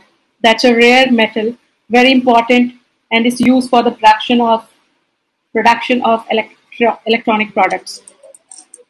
Then we learned about the circular economy practices at Mahindra Group and the way Mahindra Group is making waste out of wealth, wealth out of waste, where they have they are having savings of few crores per annum from their waste. During panel discussion, we heard a lot from these experts that, that the very essence of current times is the survival. Empathy is the key, financials will flow, and upskilling, upskilling is the requirement post-COVID. New norms will be in place, and we have to handle the environment techno- and economy with care for the balanced growth and survival of living beings on the planet. Today we learned from Mr. Sujoy Banerjee about the policies, about the uh, biodiversity and circular economy interaction, and the environment says that is being pooled and it need to be invested for the development of biodiversity, uh, environmental to solve the environmental issues, and also the focus on the subsidies that need to be identified, and if the subsidies are harmful, then that need to be eliminated. Next, we could not listen from Mr. Rajesh Sharma from Hero MotoCorp, but in case we get to hear from him uh, making a video, we will upload it on YouTube Sustain channel. You will be able to hear him later. Uh, then we invited Commodore uh, Sujit Samaddar, a very, very uh, good sentence that we heard uh, today, whether comply for environment or shutdown. This is very important. Informal doesn't mean that they cannot be formalized. There should be the mechanism the process to bring the informal uh, channels into the formal streams and mainstream for the socio-economic development of the country. Then we heard from Mr. Sandeep Bhattacharya about the about the fiscal instruments and how it is uh, growing in India. And uh, then Ms. Shan Lalwani, she was discussing about uh, the water, uh, saving the water, preventing the water pollution that is happening because of the detergents and the phosphates and how an initiative can make a change on the ground. Then we uh, listen from Mr. Amar Singh about the contribution of the Material Resource Recycling Association and uh, the way it can make the change. Not really overburdening the recycling fraternity with the uh, policies, but rather to make a framework that can enable and enhance and strengthen the recycling ecosystem in the country. So as we heard, uh, to uh, aiding to Mr. Amar Singh, I will, as a as a member of Recycling Association, I would also add that 15 days back we had a conversation with uh, Mr. Amitabh Kant, CEO of Niti Aayog, and Mr. Amar Singh, I think you would like to say something on this. That CEO Niti Aayog suggest, uh, said that he is very positive on to strengthen the recycling ecosystem in country, and he would like to see that every smart city is having a recycling uh, uh, industry, recycling industry in every smart city. And uh, moreover, uh, DIPP, Ministry of Industry and Commerce, will be given the responsibility uh, to look into the recycling activities for the country. So with this, uh, from Institute for Circular Economy and SDGs, and also on the behalf on behalf of Citizen and Exchange, uh, uh, I take this uh, conference to a conclusion. And the last panel discussion, I invite all the all the speakers to kindly unmute themselves and also uh, have their cameras on so that we can take some questions uh, for the for the, for the uh, because we have posted quite a lot of questions here.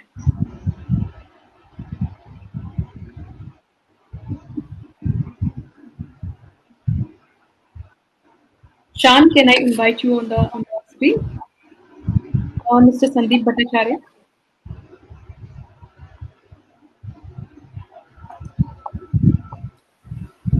Yes. Uh, so uh, we have very, very, I mean, we have too many questions here uh, floating around. But some key questions, I think uh, we are having some uh, 20 minutes in the task. So we will take quickly. The first question are taking that the current announcement of the current announcement of the government of India diluting the environmental impact assessment but we are talking about the Sustainable Development Goals and the aim for meeting Sustainable Development Goals 2030. Uh, views from the panelists.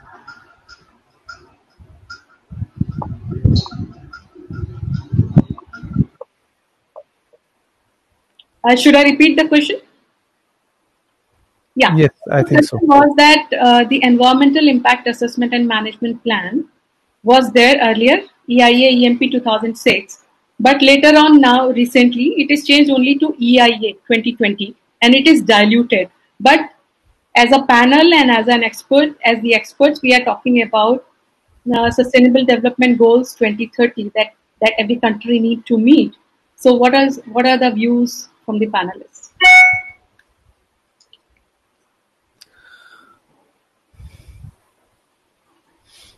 Anybody? Uh, uh, yeah. So uh, let's look at the issue from the perspective of the politicians, uh, especially when we are facing such difficult situations and the economy uh, is facing such difficult situations. So uh, there is some pressure to let let economic activity happen and let some of the safeguards go. I'm not saying I'm for it. Uh, hopefully the calculations of what the damage will be has been done and trade-offs uh, been thought about. You know there's there's a there's a trade-off to every action. And i also hope that the act that particular action is temporary and will be rolled back uh, when better times come. Mm-hmm, mm-hmm. okay. Uh, so in in this continuation there is another question that was directed towards Ms. Shan Lalwani. Uh, it was asked that existing sewage plants do not have any uh, treatment scheme for phosphate removal. Central Pollution Control Board recently came up with the new standards defining the phosphate standards. Your comments, please.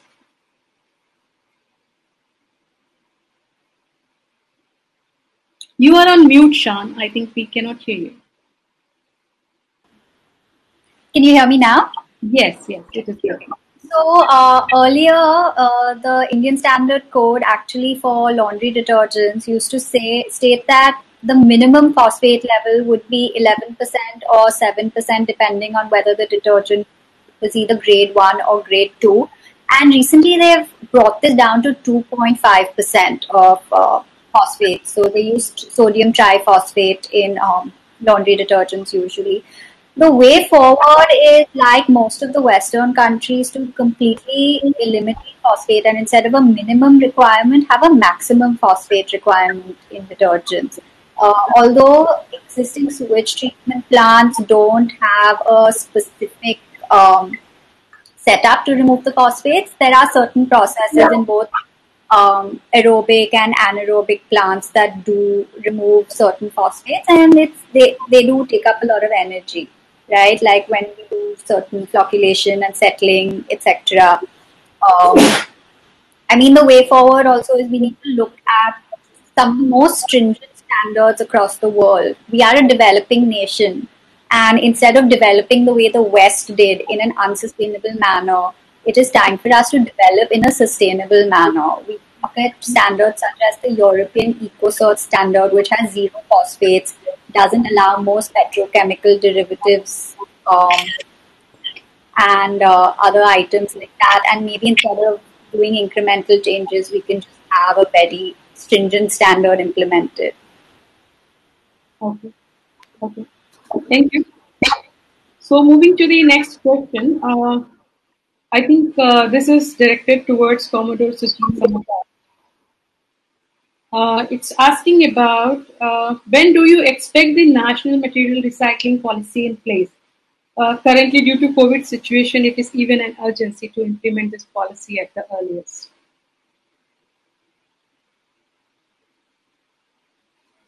So, any uh, any timelines, or uh, do you do you see do you think that this will this policy will see the light of the day uh, soon, sometime? Uh, I think that's a good question. But uh, as we have uh, seen from the discussions that have taken place around the material recycling policy, uh, the original draft was prepared by Niti Aayog and circulated to all ministries. But later on, as Amar Singh will also uh, take on, what happened was this became a public document with the concerned ministries and they all did a cut paste job of making their own steel policy and research policy and that was policy by taking extracts from the uh, national material recycling policy. So uh, I still feel that a harmonized, integrated, coordinated approach to material recycling is required. We can't have one one recycling policy for tire, another one for tube, another one for you know ballpoint pens, third one for plastic buckets, fifth one for iron iron buckets.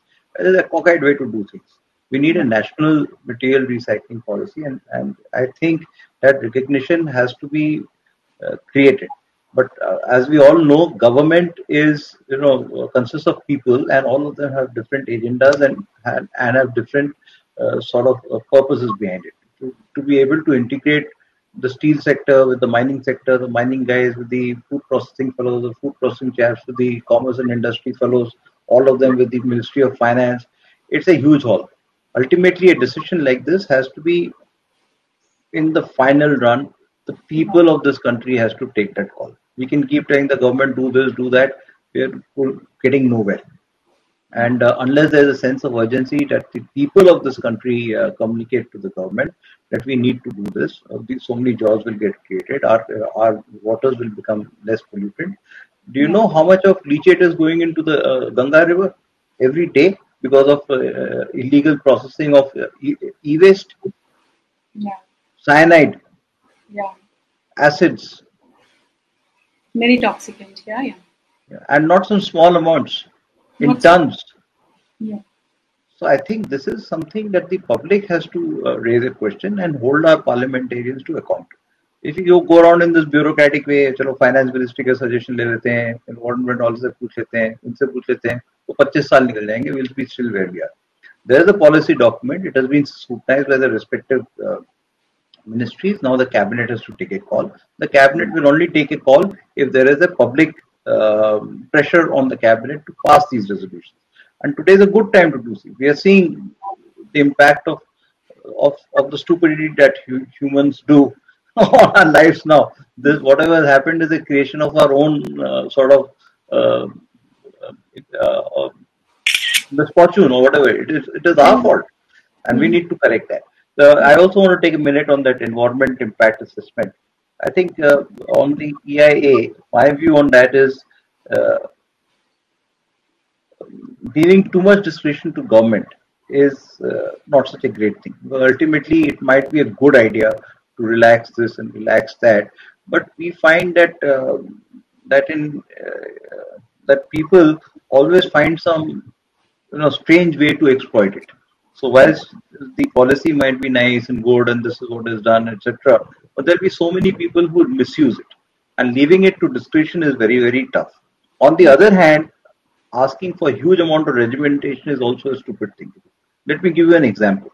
There was one hydroelectric power plant which had to come up come up in some uh, northern West Bengal. It's an old case.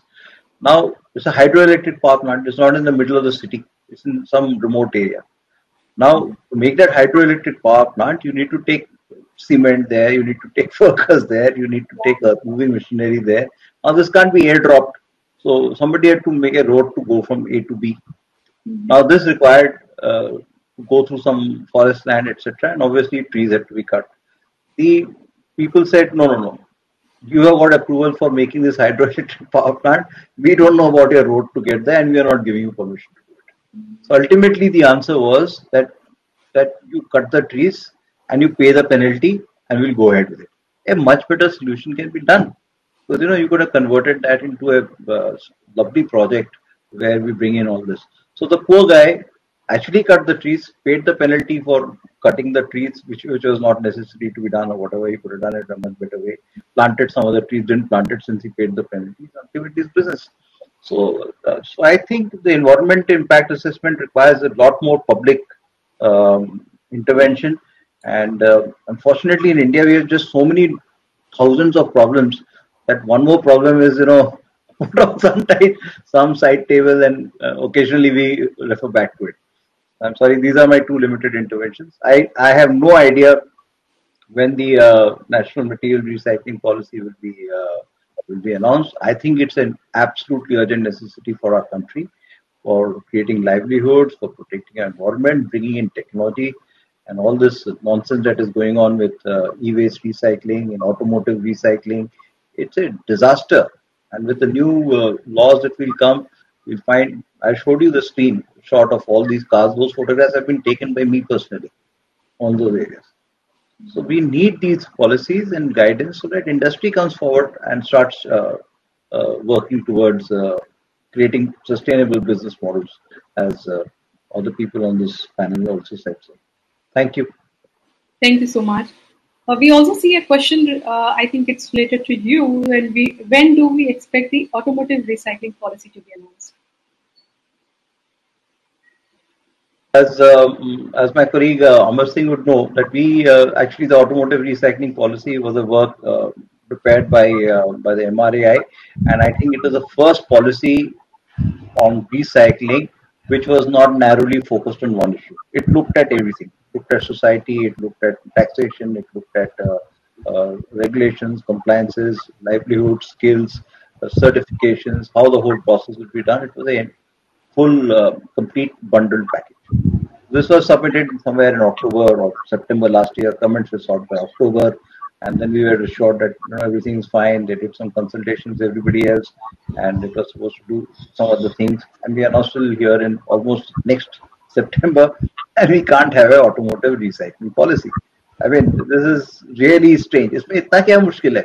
जो समझ में नहीं आ रहा automotive recycling में इतना मतलब क्या चक्कर है? We need need to do some PhD on it it's not required it's a very simple document that requires ऐसे है अपनी गाड़ी ले जाओ रिसाइकिल करो ये सर्टिफिकेट ले जाओ इसको वहाँ से निकाल दो। इतना ही करना है।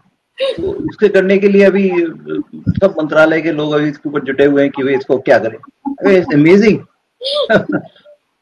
and every 15 days we get a news from ministry of road transport and highway that this policy will come very soon but that 15 days are not getting over any time so and and also at the end of it who is losing All of us are losing. The government is also losing. Exactly. A lot of revenues out of it. You know, there's GST yeah. collections can go up. That whole material comes back into society. All these ISOs that we see in roads, RWAs have gotten up cars parked there from some fancy years when nobody knows what to do with it. All this has to stop, and all that resource can come back into the economy. इसमें क्या मुश्किल है मेरे को अभी तक समझ में नहीं आया So taking to the next question, yeah, I think this discussion is uh, uh, very important. I think we somebody need to follow up with the ministries that okay, you take out, take out, do it fast, a little bit. Probably that's that's required. I think an association they can do very well. Uh, so next question, I think it's directed to Mr. Sandeep Bhattacharya. Is he here? I think he's not here on the dais. But the question is that are green bonds launched in India, Indian market, launched in Indian market or only overseas? So it is launched in Indian market. It is being adopted by some of the companies. Uh, that's a reply. So when do you, uh, okay. Uh, there is another question. I I think it's talking about status of the precious metal recovery in India. I think it's uh, directed towards Mr. Amar Singh. Uh, what is the status of precious metal recovery in India? And uh, if the if the ratio is less, then what are the hurdles in the precious metal recovery? See, the biggest uh, the ratio is obviously very less. As uh, you are also a part of e-waste management team, you know it very well. And the biggest hurdle is unorganized market. I will not say informal sector, but unorganized market. Whatever e-waste is being generated in India mostly is dumped into unorganized market. The only reason is there are so many compliances. There are so many compliances in uh, on the organized player that they are not able to or they are not perform. They are not able to perform the compliances and reg- regulations and they are not getting the break even also. So this is the reason the uh, precious metal are moving in unorganized market and uh, the recovery is very very less. Okay, okay. So compliance become as an hurdle. Yeah. Uh, so we take it uh, as. Uh, we are having one more question. I think this is directed towards Mr. Sujoy Banerjee. Uh, it's it's that will Indian will India be able to meet Sustainable Development Goals 2030 on ground? Well, it's a very difficult question to answer because uh, I can't uh, say much actually about it. But I mean, we can always. Your voice is quite low. We are able to hear you. Uh, is it any better? Hello. Yeah, it's better. I'm saying that we we all all uh, are seeing uh, and uh, as already uh, Commodore Sujit Samaddar Sahab put it. Uh, see the policies are there and uh, we largely have policies to what extent is being followed is what is more important the Yeah. other thing is that uh, it is my personal opinion and you people are absolutely free to disagree with me but the uh, the goals the sdg goals that have actually been decided at a global level and uh, even for india and other countries i do think it is uh, a bit more optimistic it is a bit more uh, ambitious i would say. But nevertheless uh, india is doing good so far. And uh, let us hope by the thing by the time 2030 comes things might actually you know we might be able to achieve it. So let's be hopeful about that. Thank you. I, and I think we will take this last question before closing it. Uh, question is asking about what is the view of the panelists? Uh, key skills that are needed for enabling the transition of linear economy to circular economy.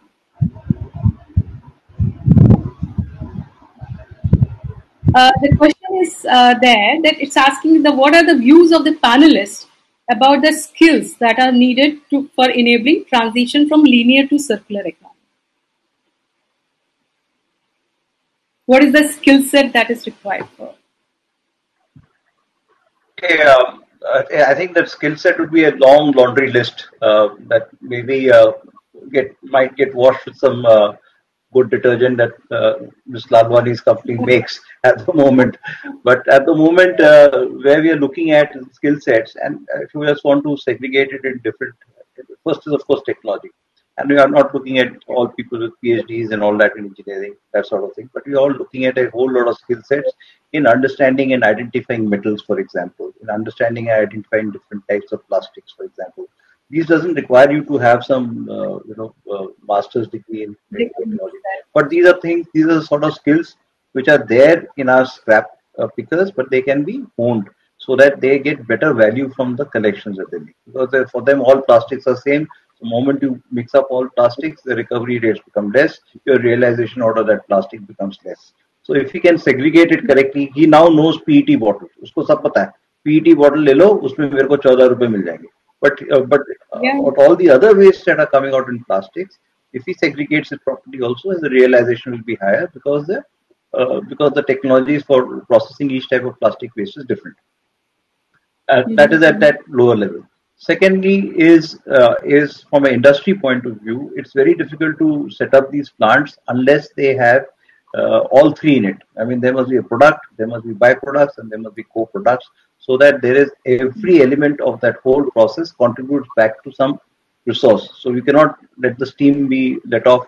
If, the steam, if it's a steam generated stuff, then that steam should drive a turbine, and that turbine should do something else if you got uh, biochemicals out of that, then it must go through some processes to convert it into pesticides or uh, or fertilizers or whatever X Y Z that comes out of it.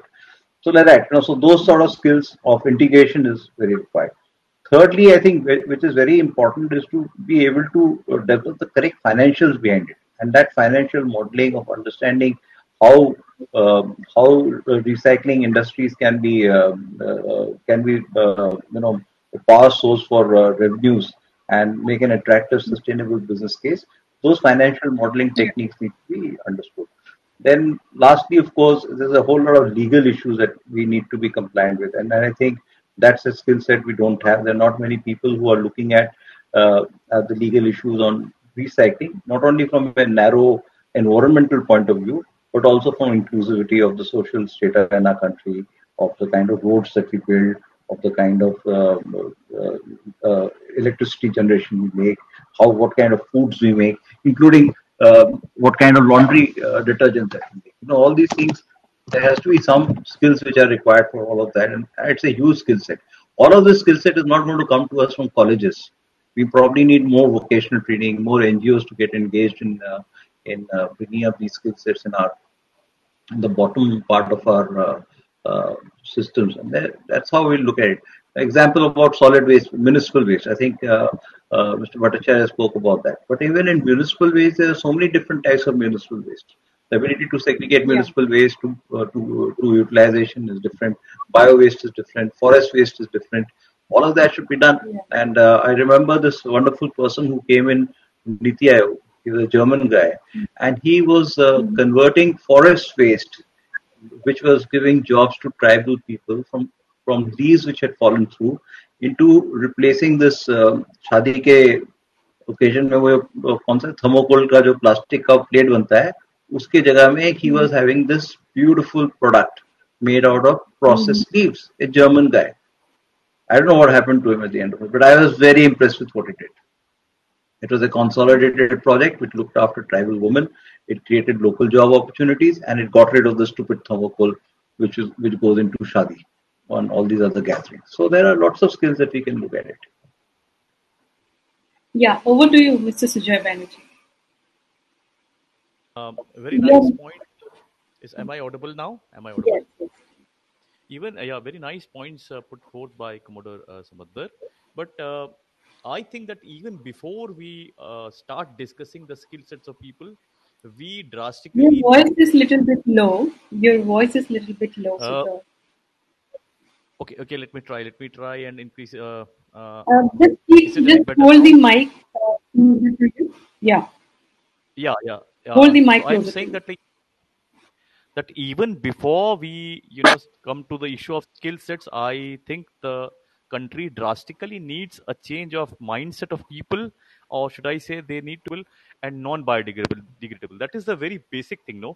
We are still chucking our batteries like you know these the batteries that we are using we are still chucking our batteries into the waste and we do not know what happens. I mean most people do not know what happens when it like you know gets into a landfill or it, it goes into any kind of water body. And and i i mean believe me people don't even know this.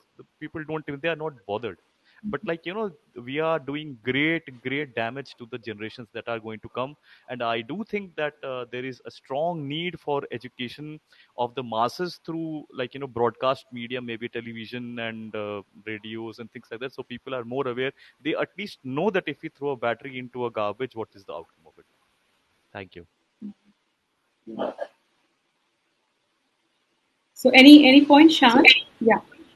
Yeah, um, you know, at, even at the city level, at least we have resources. Even if a person throws, uh, a, let's say they throw an aluminium can in their garbage, a rag picker is going to come and pick it up and take it away and have some value for that. So I have two points, uh, maybe. One is at the rural level, we there is absolutely no waste management. If you go to any village in India, the waste management is the stream so all their plastic, all their solid waste, everything is put into the stream and it eventually leads into the ocean.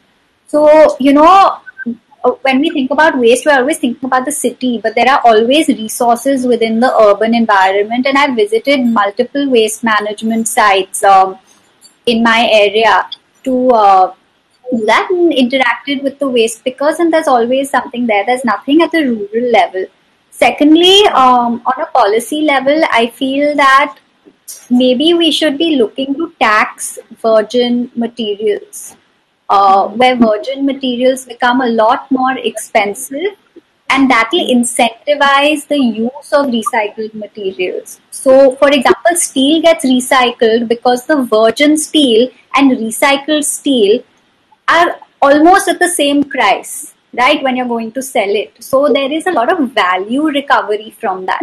Now if we tax virgin materials where they become almost unaffordable such as plastic right? If we start taxing virgin plastic then there is opportunity to uh, see because recycled plastic is very expensive. First the collection is difficult especially when you look at little things like uh, milk packets and wrappers and stuff like that. They're very difficult to collect um, and sort and recycle, which we've already covered. Now, if we can make that more affordable compared to a virgin material, then there is perhaps something we can do on a policy level over there. Thank you, Sean. Thank you. Yes, Sujoy. Yeah. Uh, one very small point to add. I mean, this is not uh, anything uh, like pioneer or any. This not. You have to bring the mic closer to you. Uh, like this is practiced in some countries. So for example if a water bottle is selling at 15 rupees what they do is they they price it at 20 rupees and if you return the water bottle then they, you get 5 rupees back. Yeah. now the person is like you know mentally paying 20 rupees but he knows if i pay back I, if i pay bring back the bottle i get 5 rupees. So i mean these kind of things are very good initiatives for getting all the waste back and especially for recycling. Thank you also thank you so I much. also, also add this little two interesting points. You know, this we yeah. discussed this whole business about waste segregation at great length. You know, we must have yellow colored bins for this, blue color for that, green color for that. In all those discussions, I used to only ask them one question. For 70 years, we had three lights in our life: a red light, a yellow light, and a green light. ये सत्तर साल में हमको अभी तक समझ में नहीं आया कि रेड लाइट का मतलब स्टॉप है येलो का मतलब रुक जाओ ग्रीन में we haven't understood that. Yeah. Now you want to complicate it further with more colors, blue for this, green for that. Not happening. So, but in all these situations, uh, where the uh, where we have to learn to use uh, is get technology because we can't change human nature in in one day. We can't change people who are going to you know trash the way that they want to trash the way. I remember in Japan, I had to put my uh, uh, whiskey bottle as the bottle, the cap separately, and it if they couldn't be put together. The cap went into a separate bin, and, and that was it. Everybody did it. I also did it. But here in this case, we are not going to get to that level of segregation, no matter. I also have this guy who's going around Swachh Bharat, etc. Some jingle has been made for it and all very nice, attractive, but it's not happening because I think that whole thing, everything is all bundled up. This is where technology has to come. Our businessmen and our entrepreneurs have to think of integrated plants which are able to hand handle mixed waste. That means you have eddy current separators, you have magnetic separators, you have gravity separators, you have air separators. No matter what you put into it, my waste plant will make sure that I get uh, ferrous here, aluminum here, paper here, plastic wraps there, mud here, whatever. I can do it. It's it's elementary to do this job. Then I'm not stuck in this whole game कि आप यहाँ करिए और वैसे करो और मेरे को कोई फर्क नहीं पड़ता you give it to me. I will put uh, bio waste here. I'll put uh, metal waste here. I can put paper here. They're all technologically feasible today. So, but that requires uh, uh, some entrepreneurship and obviously a public-private partnership. Nobody can do it on his own. One very interesting suggestion which had come to us from uh, one of our special secretaries in Niti Aayog was kitchen waste. Today, kitchen waste is is a nuisance for you. But suppose I, I put this model upside down. I said I will buy kitchen waste. Now you see, every housewife is going to make sure that that kitchen wife is sold to you. एक रुपया मिलेगा ना चलो एक रुपया दे दो. Now I'm paying 30 bucks or 300 bucks or whatever X rupees to take charge of my uh, kitchen waste and that gets lost God knows where. But if I get very good quality kitchen waste, then my waste to energy function, biomethanation, all that, uh, whatever this uh, fertilizers and whatever else, uh, what is it called? word for it, huh? Sorry? Compost. Uh, compost. Compost. you know, then all this becomes business sense to me because I'm getting pure waste. I pay the housewife two rupees a kilo or whatever X number, but it now becomes a resource. I don't throw away cardboard. I don't throw away newspaper because I know that kabadi wala will pay me five bucks. But I throw. I'm quite happy to throw away, you know, kitchen waste and whatever other waste because nobody's paying me for it. Moment I start paying for it, I can convert it into waste to energy, composting, biomethanation, 150 things because it's clean waste, clean yeah. kitchen waste or bio waste, yeah, yeah. which come from right. forests or from uh, municipal parks or wherever. Yeah, that's right. That's right. Yeah, and people will happily uh, make it as a separate clean waste to give it, clean kitchen waste to give it. Yeah. And uh, in Tokyo, I, uh, I used to exchange my uh, newspapers to get toilet rolls. I mean, it was a straightforward transaction. There's no intervening period. 30th uh, of the month, it comes and collects my uh, newspapers. Gives me whatever eight eight uh, packs or whatever. I've forgotten how much of toilet rolls. See that transaction zero complication. Was it done? All all paper just to make sure that the damn thing was uh, was uh, stored in the right place. It was not not ruined. A simple thing. Both of us benefited. I didn't have to lug around 100 paces with toilet rolls. They're bulky things to carry anyway. So if it comes to you at home, it's a good thing. oh, yeah. I think I think wonderful insights and wonderful inputs. So many we have exceeded though we exceeded the time, we couldn't really realize that we are we are exceeding the time. And uh, with this, I think uh, we will uh, conclude this two days web conference on circular economy and SDGs, strategy 2020-2030, a decade of action, of course. So let us take this a decade of action, a real-time action, um, collaborate, join together, and do something that can really contribute to Sustainable Development Goals 2030. But far more, making the change in the lives on the ground and in our surroundings. I think that will make a uh, make more sense for everybody. And uh, with this, I would like to thank all the panelists and all the speakers for coming all the way and giving their precious time to us, staying with us for now. It's like uh, more than two hours, two and a half hours. We are here with us together. And all the participants for taking out their time and joining us for this event.